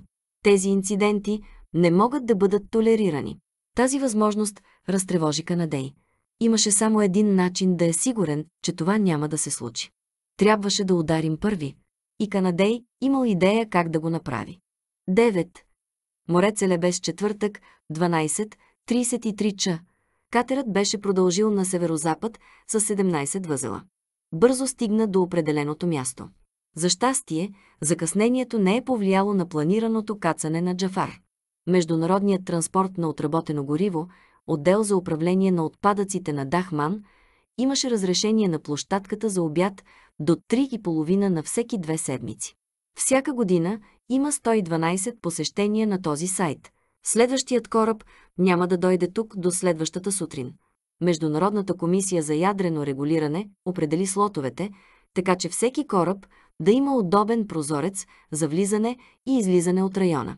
Времевите слотове са създадени, за да се сведе до минимум вероятността от сблъсъци. И ако на един кораб се случи инцидент, това няма да застраши екипажа на друг. Джафар наблюдаваше от моста, докато екипажът му работеше с лебедката върху предната част на резачката. Осемте членове на екипажа са били с радиационни костюми. Те работеха бавно и внимателно, докато 50-метровият кран премахваше бетонен блок от предния трюм. Блокът тежи 3 тона и е с размерите на компактен автомобил. Той е проектиран да съдържа само 3-10 галона варели с отпадъци. Всеки радиоактивен прът е запечатан в смес от абсорбиращ литиев хлорид, калиев хлорид и алкални метални хлоридни соли. Те са опаковани в контейнери от цезиев метал в подсилени керамични и стоманени барабани. След като бетонният блок беше във водата, той щеше да бъде спуснат бавно до перваза на краката под него. Оптична камера на линията ще води оператора на лебедката. Той ще се грижи да не никне или да повреди някой друг блок, докато поставя своя. Всяка седмица Международният комитет на Червения кръст плава през този регион, за да се увери, че никой от блоковете не изтича. Този район на море, Целебес, е един от 12-те океански региона, където МЧК разрешава да се депонират радиоактивни отпадъци. Морското дъно тук е било геологически стабилно и рибарите не са плавали редовно в тези води. Всяко изтичане на информация няма да има голямо въздействие върху нито един народ или економика. Разбира се, сигурността е относително състояние на ума. Отпадъците ще бъдат силно радиоактивни в продължение на 10 000 години. Но тя трябваше да бъде изхвърлена и за сега това беше едно от най-добрите места за това. Особено след като учените откриват, че дори най-силните контейнери, погребани на сушата, са подложени на ерозия от микробактерии. Много от тези организми са били погребани в вулканични потоци преди милиони години и са останали латентни в скалите. Само шепот от радиация от материали като кобалт 60 ги накара да се съживят и да изядат скалите и металите. Маслинената кожа, чернобрадият Джафар, наблюдаваше с гордост как хората му изпълняват задачата си. 30-годишният е работил в тясно сътрудничество с физиците, наети от Махатир Бин Даман. Те са проектирали безопасен и ефективен процес за изхвърляне на отпадъци. Стените на моста са украсени с документи от Тинч, възхваляващи операцията на Даман. Джафар остава на поста си до приключването на операцията. Той се обадил на вътрешното министерство в Куала Лумпур, за да им каже, че всичко е било успешно. След това слезе долу, за да благодари на екипажа и да обядва. И да се насладите, както винаги, на една вкусна закуска. Иронията на тези цитати. 10. Дарвин, Австралия четвъртък, 12.05 ч. Кралската болница Дарвин е едно от най-добрите и модерни съоръжения в Австралия. Десететажна бяла структура, тя има уникална мисия. Тъй като населението, което обслужва, живее в огромен регион с разнообразен расов происход и трудни климатични условия, болницата трябва да е готова да се справи с почти всякакъв вид заболяване или нараняване. Медицински те бяха готови за и Тонг, психологически никой не беше готов за него. Или какво е донесъл в Австралия. Служебната кола се спря пред входа на болницата. В този момент един полицай излезе от фоето. Беше едър мъж с коса с цвят на слама. Кофи не беше на кралските си шеврони на австралийския флот, но този човек имаше карета на високо поставен офицер. Шофьорът се затича и отвори вратата на Кофи. Старшината поздрави, когато другият мъж се приближи до колата. Господин Кофи, аз съм Джордж Джелбарт, каза мъжът с много дебел австралийски акцент. Добър ден, сър, каза Кофи. Благодаря ви, че дойдохте, продължи Джелбарт. Надявам се, че пътуването не е било твърде неудобно. Беше добре, с изключение на любопитството, което изгаряше дупка в главата ми, отговори Кофи. Моля, простете секретността, каза Джелбърт. Ще разберете защо това е било необходимо. Сигурен съм, каза Кофи. Мразя да се обаждам на шефа си и да му казвам, че не знам защо отивам някъде. Изглежда зле, ние сме разузнавателна агенция и всичко останало... Разбирам. Отново ще видите защо е било необходимо. Мъжете влязоха в лобито на болницата. Те минаха покрай мястото на происшествието към асансьорите и се качиха на петия етаж. Там, в края на гъобразен коридор, двама водещи моряци стояха спокойно от двете страни на вратата. Всеки от тях носеше секстант на ръкава си. Когато Кофи го попитал, Джел Барт му казал, че значката е от хидрографското подразделение на флота. И двамата носеха пистолети и не безсмислени изрази. Хидрографско проучване и морско разузнаване. Помисли си Кофи. Науката и контрашпионажът работеха заедно по този въпрос. Това подсилваше онова, за което бе мислил през цялото време. Той само се надяваше, че ситуацията не е толкова лоша, колкото си е представил. Мъжете поздравиха, когато пристигна старшина Джелбърт. Той отвърна на поздрава, когато отвори вратата. Директно вътре имаше уловен екран, съставен от три вертикални панела. Тя е подобна на тези, които Кофи е виждал в рентгеновите лаборатории. Екранът не го изненада. Много натъжи. От другата страна на екрана лежеше човек. В центъра имаше малък прозорец. Джилбард даде знак на Кофи да погледне. Адвокатът се приближи и изучи пациента в леглото. Беше тъмнокош, мускулест мъж с интравенозна игла в ръката и кислородна маска на долната половина на лицето. Имаше превръзки върху голите му гърди, рамене, ръце и части от лицето и скалпа му. Няколко монитора бяха закачени за ръцете и слепоочията му. Смятаме, че е от Сингапур, каза Джел Барт. Защо? Попита. Кофи. Това е общата му физиономия, казва Джел Барт. Освен това, той носи дрехи, които обикновено се носят от докерите на пристанището Кепел. Неговите татуировки на акула и котва изглеждат като дизайните, които правят там. Поне частите, които не бяха изгорени. Виждам, каза Кофи. Как се е озовал тук? Той беше взет от бягаща патрулна лодка, каза Джелбърт. Намериха го да се придържа към няколко дъски от това, което може да е било сампан. Това е което дървото и извивката на дървото предполагат. Той имаше изгаряния трета степен над 20% от тялото си и дупка от куршум във всеки крак. Иронично, изгарянията са обгорили раните. В противен случай, вероятно щеше да умре от кръвозагуба. Бил е там 8 или 9 часа, преди да го намерят. Той е късметлия, че изобщо го намериха, каза Кофи. Късмет е относително понятие, каза Джелбарт. Как така? Нашите патрулни лодки са оборудвани с детектори за радиация, продължи Джелбърт. Те следят за всеки, който може да се опитва да прекара нелегално ядрени оръжия през региона. Имат сигнал от нашия приятел, от него или от развалините? Попита. Кофи. И двете, отговори Елбарт. Лекарите не смятат, че е получил смъртоносна доза. Има тестове, разбира се, въпреки че разбирам, че най-добрият знак ще бъде, ако той наистина се събуди. Казаха ми, че познаваш Брайан Елсуърт. Да. Той е долу в моргата с някои местни служители по сигурността и останките, каза Джел Барт. Изкъпахме жертвата, но не искаме да почистваме дъските, докато не бъдат анализирани. така че го държите изолиран, каза Кофи. Джелбърт кимна. Някой свързали се с властите в Сингапур? Попита. Кофи. Да, отговори Елбарт. Надяваме се, че те могат да помогнат за идентифицирането на този човек, но той ще бъде твърде болен, за да бъде транспортиран обратно до Сингапур, каза Кофи. Това се случва да е вярно, каза му Джелбарт.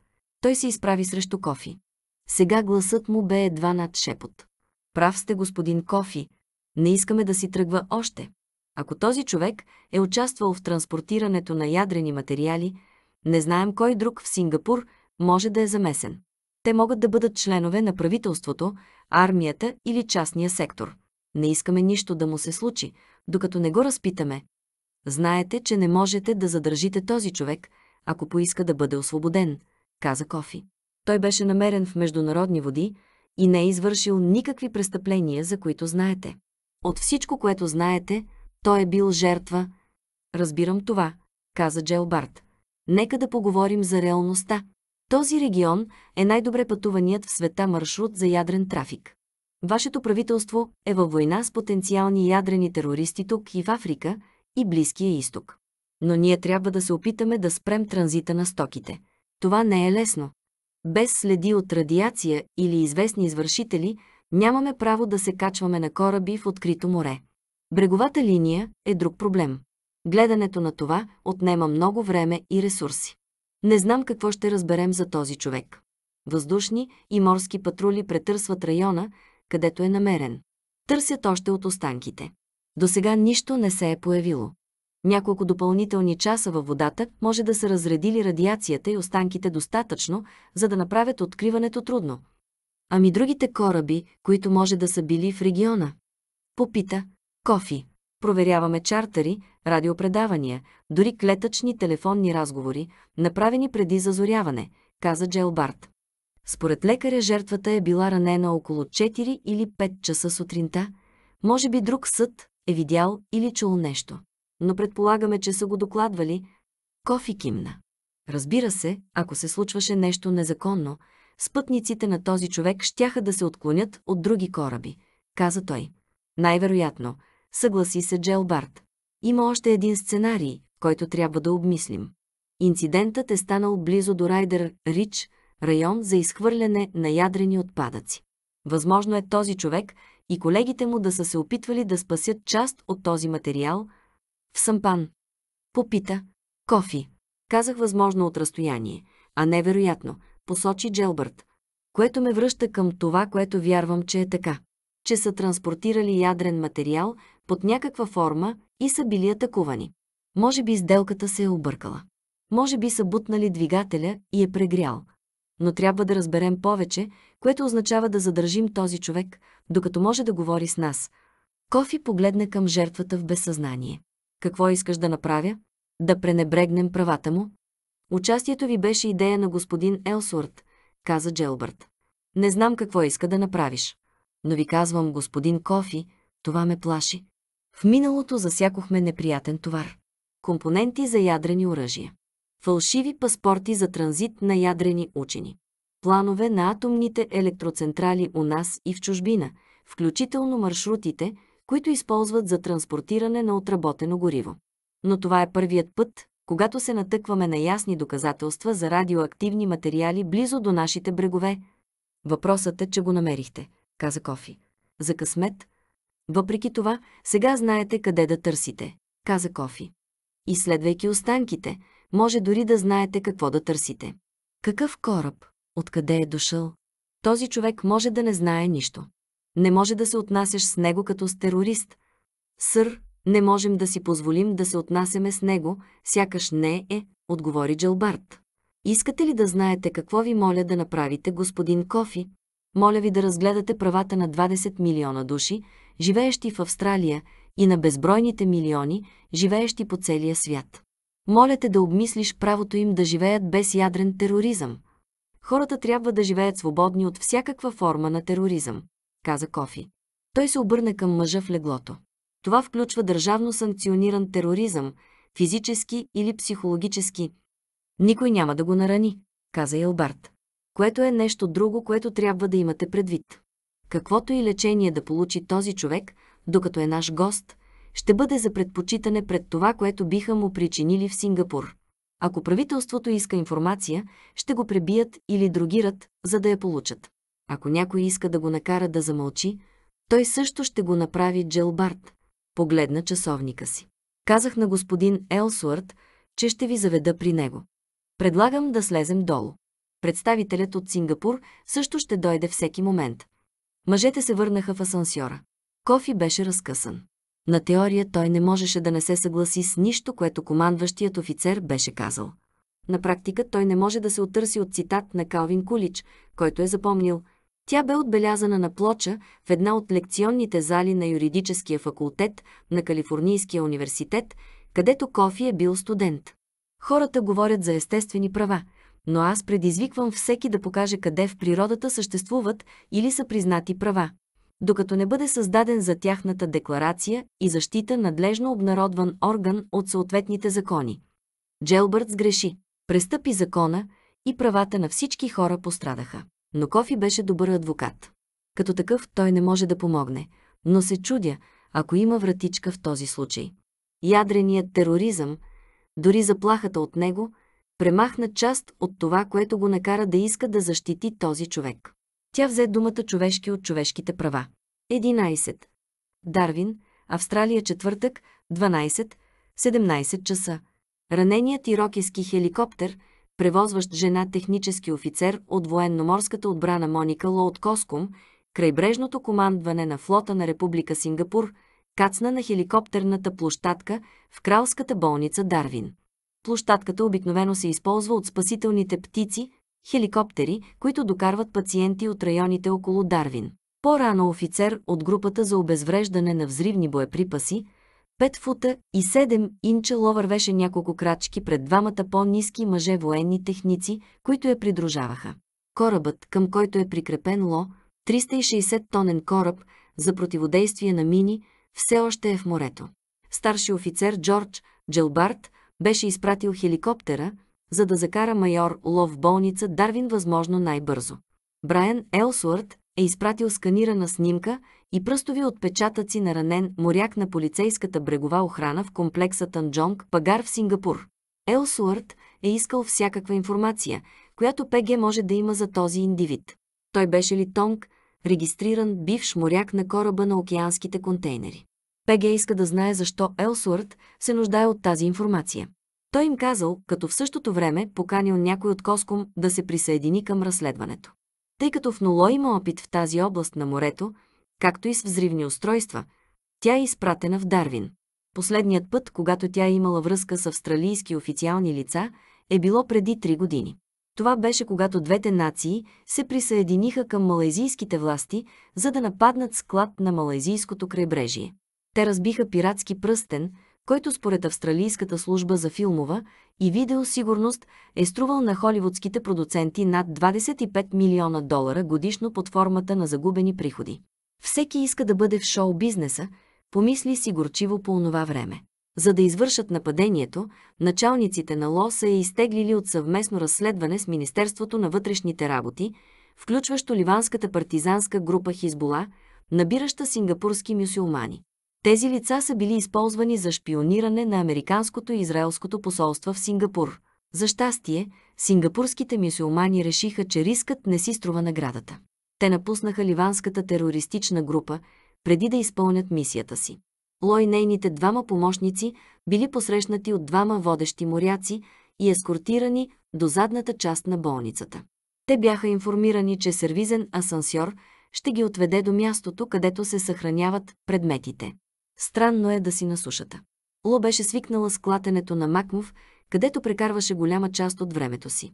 Дори хеликоптерът се чувстваше по-удобно, отколкото твърд, неподвижен асфалт. Също така беше необичайно за Ло да бъде на слънце. Докато по-голямата част от 28-членния екипаж търси мини, тя провежда операции за сигнално разузнаване в отделна зона на кораба. Тя слушаше за комуникации, които биха могли да предполагат контрабандни операции.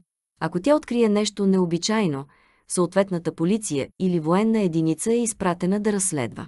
Фактът, че тук се случваше точно обратното, не я изненада. 34-годишната Ло не споделяше гледната точка на много от колегите си морски офицери. Те разглеждат номенклатурата на РСЕ не като пренебрежителна, тъй като мъжете военноморски офицери са просто наричани военноморски офицери. Ло не се съгласи. Тя искрено вярваше, че мъжете са създали отличието с причина. За да имат къде да се обърнат, когато нещата станат трудни. Като сега. Бащата на Ло, Вендесън, е бил служител в Сингапурския отдел за криминални разследвания.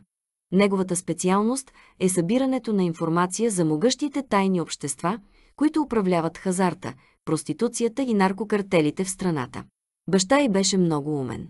Но всеки път, когато Вендесън бил объркан, той обсъждал ситуацията с жена си. Моника често лежеше в леглото и слушаше разговорите им. Майка й, Нордиана, е учителка.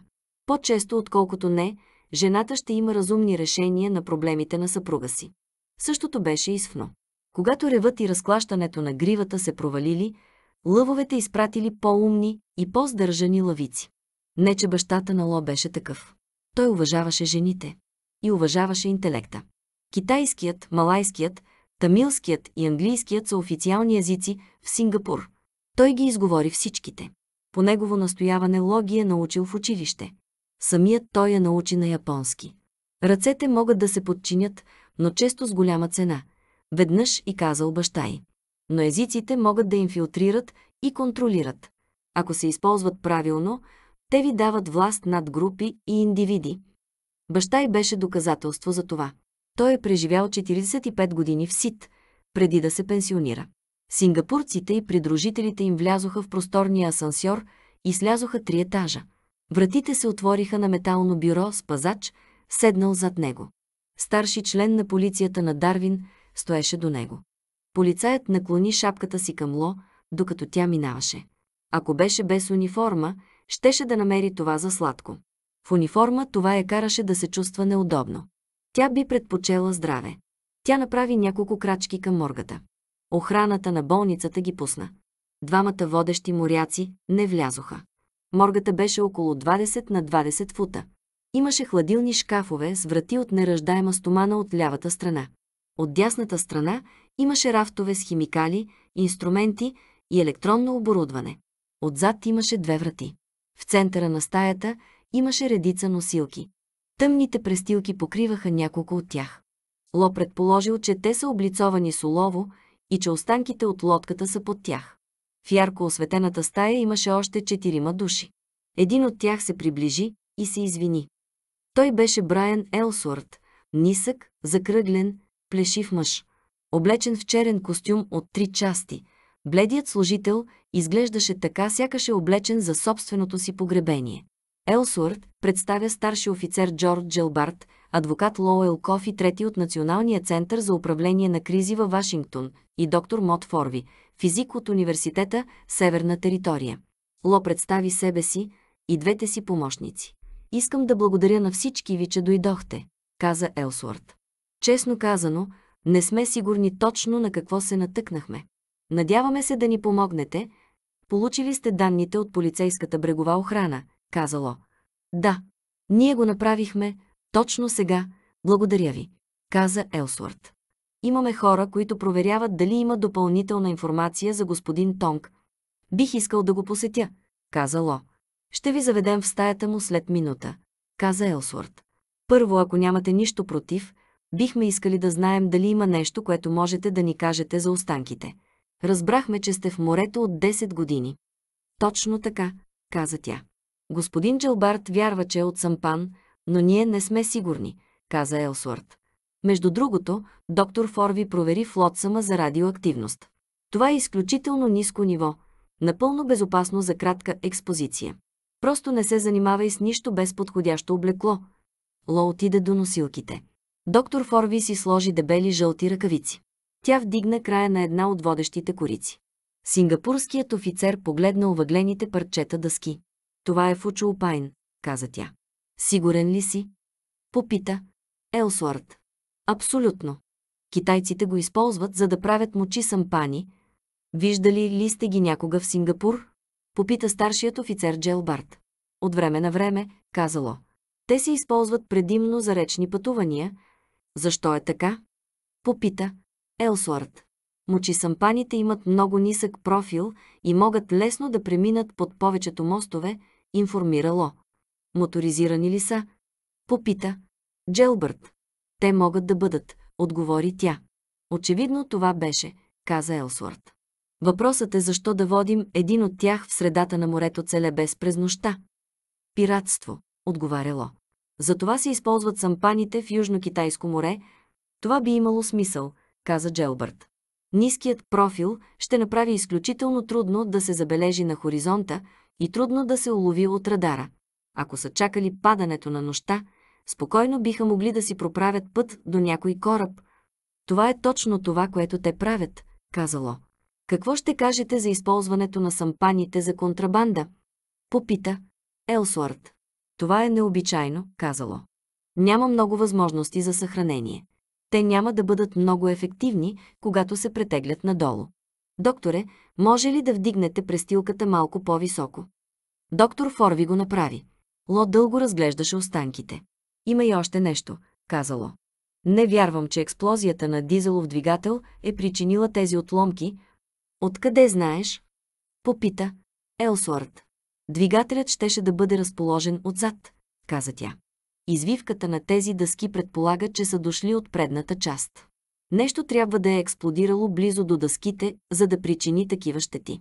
Също така лисицата по страните на дървото е необичайна. Експлозиите на бензин създават остри пукнатини. Това дърво е било пулверизирано. Какво предлагаш? Попита. Джелбърт. Че на борда е имало мощно взривно устройство, казало. Има съобщения през последните няколко години за банда пирати, които поставят експлозиви по корпусите на корабите. Пиратите заплашват да унищожат корабите, ако не предадат товара си. Знаем ли нещо за тези пирати? Попита. Джелбърт. Не, отговори Ло.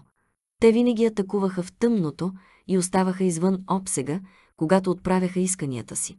Всички заложници са били скачулки или убити. Възможно е да са използвали сампан за тези атаки. Как са събрали плячката си? Попита. Джелбърт. Парите и бижутата бяха поставени в лодка или понякога в чанта, която един от пиратите доплуваше, за да вземе. Отговори Ло. Това не би бил удобен начин за преместване на ядрени материали, отбеляза доктор Форви. Внимателно положи тежката престилка върху очуканите парчета дърво. Това предполага, че това е същата група пирати – каза Кофи. Единственият начин да разберем това е като говорим с оцелелия, казало. Бих искал да направя това възможно най-скоро. Той е в безсъзнание, казва и Елсуарт. Тогава ще трябва да го събудим, отговорило. Полицай Лох, това е нещо, което ще трябва да обсъдим с лекарите му, каза Елсуарт. Ло се втренчи в него. Можете да го обсъдите с лекарите си, твърдо предложи тя. Тук съм, за да разбера, защо съм пан, и един от неговите оператори са били изложени на радиация. Можем да се опитаме да направим и двете, предложи Кофи дипломатично. Ло се обърна и тръгна към вратата. Нямаше нищо за ловуване тук. Лавицата продължи напред. 12. Море без четвъртък. 1. 08 вечерта. Яхтата е на път да пресече на юг в Молокско море, когато капитан Канадей извиква Джон Хоук в каютата си. 15 минути по-късно началникът на охраната почука и влезе. Канадей седеше на едно малко бюро срещу стената от към левия борт. Беше парче от 18 век. Имаше ламинирани карти, маркирани с молив и лаптоп с морски данни. Когато Канадей седеше тук, го караше да се чувства като капитан на стара фрегата или китоловен кораб. Колко от тези мъже също са се занимавали с контрабанда, често се чудеше. Тогава са били роби, оръжие и опиум. Хоук затвори тясната врата зад себе си. Ярката светлина от иллюминатора се движеше с бавното люлеене на прята. В един момент слънцето блестеше ярко върху тъжното лице на офицера. В следващия момент беше в мрачен мрак. Хоук не мигна на пряката светлина на слънцето. Той свали слушалките си и ги окачи на рамото си. До леглото имаше шезлонг. Канадей не го покани да седне. Капитанът завъртя стола си към новодошлия. Отне ви време да стигнете до тук, каза Канадей. Бях заед с ремонта, отговори Холк. Гласът му беше като морски спрей. Беше мек и пухкав, комбинация от аборигенски акцент на майка му и лиричната канадска интонация на баща му. Като се има предвид неуспехът, който претърпяха, той също беше обезпокоително уверен и спокоен. Какво е състоянието на лабораторията? Попита. Канадей. Дупката е заварена, отговори Холк. Районът е без течове. Изтичане на морска вода или радиация? Попита. Канадей. И двете, отговори Холк. Въпреки това, щетите по оборудването за обработка са значителни. Да не би да казвате, че материалите не могат да бъдат обработени до момента, в който стигнем до Кернс. Каза. Канадей. Това е вярно, информира Холк. Той изчака малко, после попита. Има ли нещо друго? Да. Не изглеждаш много разстроен, каза Канадей. Не мога да променя това, което е, каза Холк. Шефът не искаше никога да влизаме в пристанището с товара, напомни му Канадей. Единственият друг вариант е да изхвърлим барабаните, каза Холк. Вече сме подготвили нова техника. Ще ни чака в лагера, когато пристигнем. Ще влезем, ще съберем екипировката и ще отплаваме. Сигурен ли си, че няма други възможности? Канадей. Поиска. Нищо ли не можем да направим? Разрушенията бяха огромни. Можеш да вземеш радиационен костюм и да отидеш в лабораторията и да се увериш сам Холк. Свали слушалките от рамото си. Държеше го напред. Или можете да се обадите на доктор Мет и да го попитате. Моля те, каза Канадей. Питам. Звучи така, сякаш ме обвинявате, каза Холк. Може би се чувствате виновни, каза капитан Канадей. Какъв точно е проблемът? Тъжните сиви очи на Холк бяха вперени в капитана. Сменил е слушалките. Дори преработката на суров петрол изисква азотна киселина за разтваряне на отработените елементи, отговори Холк. Всички наши контейнери бяха разбити при експлозията. Също така се нуждаем от функционираща центрофуга, за да разделим останалите материали на дъщерни продукти. Взривът е засегнал люлеещите се ръце. Те няма да се обърнат правилно. Нашият партньор очаква 3 кг обогатен уран под формата на пелети. 350 съчми, приблизително. Ако не можем да дестилираме материала, не можем да го предадем на нашия партньор, нито той на неговите клиенти Холк. Направи пауза. Той започна да изглежда неспокоен, раздразнен. Чувствам се длъжен да добавя капитане, че екипажът смята, че сме късметли и че все още сме на повърхността. Съгласен съм, господин Холк. И аз не се интересувам много от късмета, каза Канадей. Взехме всички разумни предпазни мерки, посочи Холк. Очевидно не, каза Канадей. Корпусът ни беше пробит. Още веднъж, заповядахте ли ми тук да сваля част от кожата си? Попита. Холк. Не, господин Холк, отговорил Канадей. Истината е, че те извиках тук за нещо друго. Искам оставката ти като шеф на охраната. Мигащата светлина падна изцяло върху лицето на Холк. След няколко секунди изражението му се промени. Вече не изглеждаше нетърпелив. Той изглеждаше почти развеселен от изявлението на Канадей. Очакваш да падна върху меча си заради това, което се случи? Попита. Холк. Това са ваши думи, не мои, каза Канадей. Но това е което питате. Бяхме неподготвени. Мъжете, които ни нападнаха, не бяха новаци, каза Канадей. Трябва да има доклади за предишни нападения. Възможно е, съгласи се Холк. Забавлението изчезна така бързо, както бе дошло. Сега се ядосваше все повече. Но всеки път, когато нашите компютърни момчета хакнат за класифицирана информация, те рискуват да оставят следа. Всеки път, когато плащаме на някого да провери полицейските досиета на определено морско платно или пристанище, ние вкарваме някой друг в нашия кръг. По-ефективно и в крайна сметка по-сигурно е да се справите с измамник или двама, ако и когато се появят. Това е извинение, а не отговор, отговори Канадей. Искам оставката ти, а ако избера да не го дам. Тогава ще бъдете уволнени, каза Канадей. С или без одобрението на шефа? Попита. Холк. Когато отплаваме към залива с тези барабани с сурови ядрени отпадъци на борда, шефът няма да оспорва това, което съм направил. Сигурен ли си, капитане? Холк. Тръгна напред. Работя за него. Не за теб. Шефът не харесва провала, каза Канадей. Той ще ме подкрепи. Защото си капитан? Хоук. Прес. Защото се грижа за интересите му, отговори Канадей. Разбирам. Това решение няма ли нищо общо с това, че си чистокръвен? Настоя Хоук. Това е без значение, каза Канадей. Защото така казвате? Попита. Хоук. Защото е вярно. Канадей. Отговори. Никога не съм те съдил по происхода ти, но когато имате аудиенция с шефа, ще му кажете, че съм бил невнимателен и неотзивчив, каза Холк. Бяла стенография. Това са обичайните обвинения срещу местните австралийци. Може дори да го накараш да ти повярва. Той никога не е бил приятел на аборигените или на техните проблеми. Вашият происход няма нищо общо с моето решение, настоя Канадей. Вие се провалихте във вашата отговорност. Това не е нещо, което можем да си позволим. Ще ви бъде платено за работата, която сте свършили до момента. Това е значителна сума, бих добавил. С оставката си можеш да ръководиш охраната за друга операция. Това няма да се отрази на кариерата ти. Хоук извади умера от пояса си. Четири инчовите стрели бяха в затворен чувал от платно, който висеше до него. Канадей не се притесняваше. Нямаше достатъчно място да ги използваме тук, а пръчката не беше нито твърда, нито достатъчно дебела, за да се използва като тояга. Отказвам да подам оставка, каза Холк. Имаше стомана в челюстта му, в гласа му. Сега, как ще приложите решението си? Аз също имам оръжия, каза Канадей. Имам хора, които да ги използват. Повече мъже от теб. Имате моряци, каза Холк. Има убийци. Половината от тях са аборигени, а половината са бели, каза Канадей. Откъде знаеш, че те няма да се обърнат един срещу друг в конфронтация? Моите хора са лоялни към мен, каза Холк.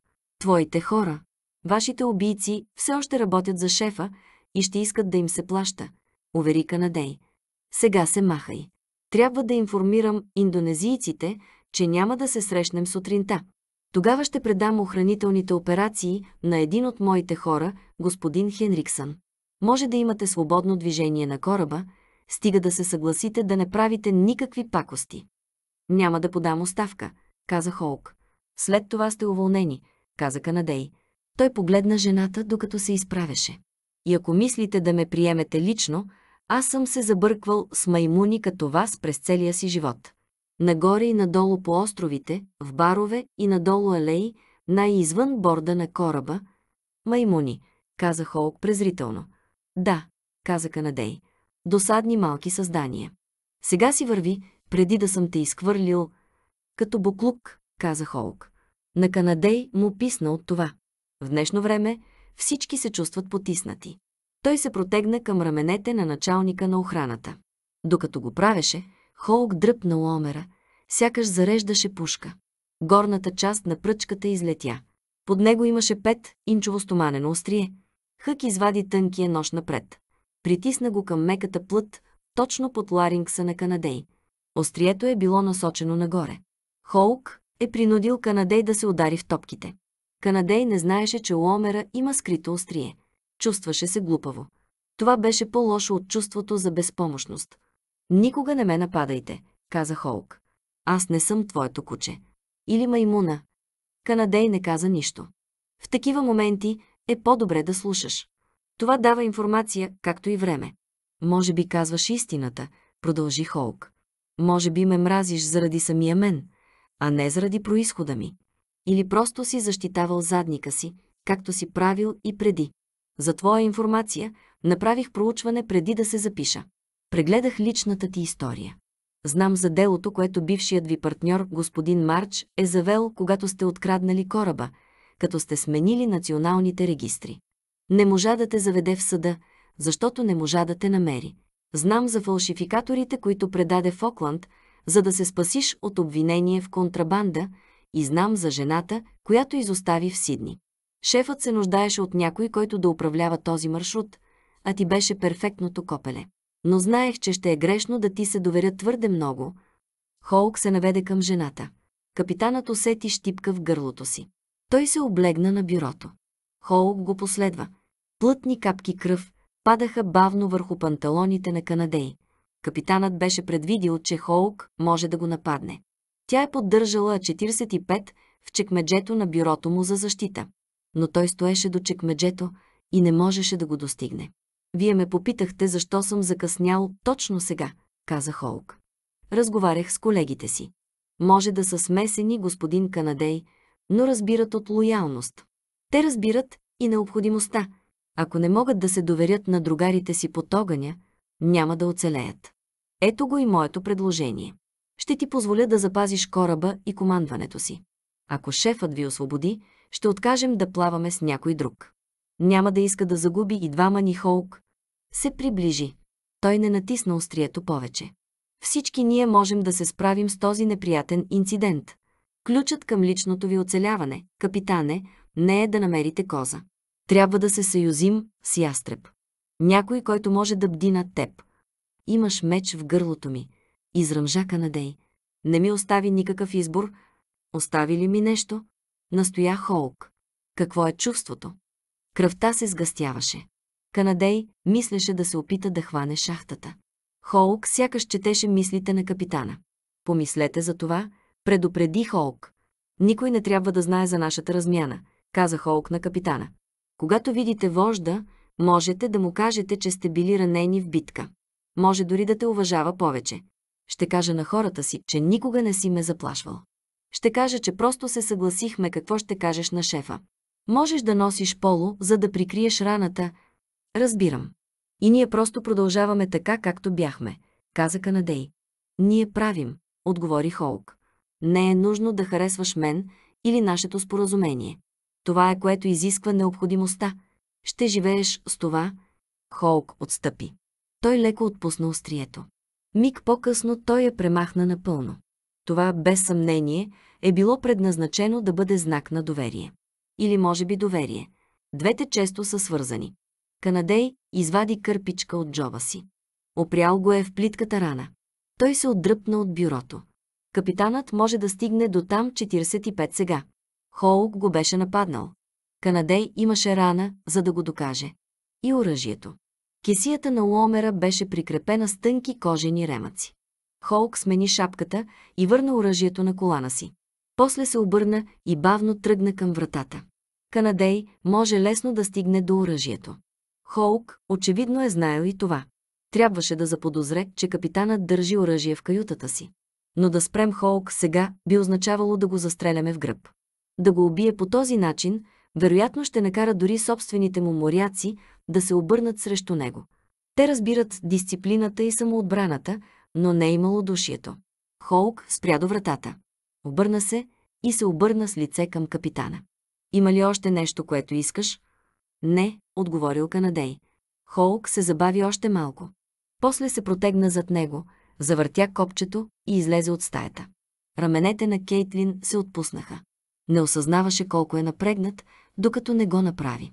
Той погледна кърпичката и видя, че е гъсто изцапана с кръв. Той го натисна обратно на мястото си и отиде да вземе аптечка. Държеше един в шкафчето до леглото си, заедно с личния си магазин за скотч. Веднага, щом закърпи раната, ще отвори бутилката. Канадей беше разтърсен. Капитанът също беше ядосан на себе си, че е подценил Холк. Човекът беше уравновесен. И смелост. И цел.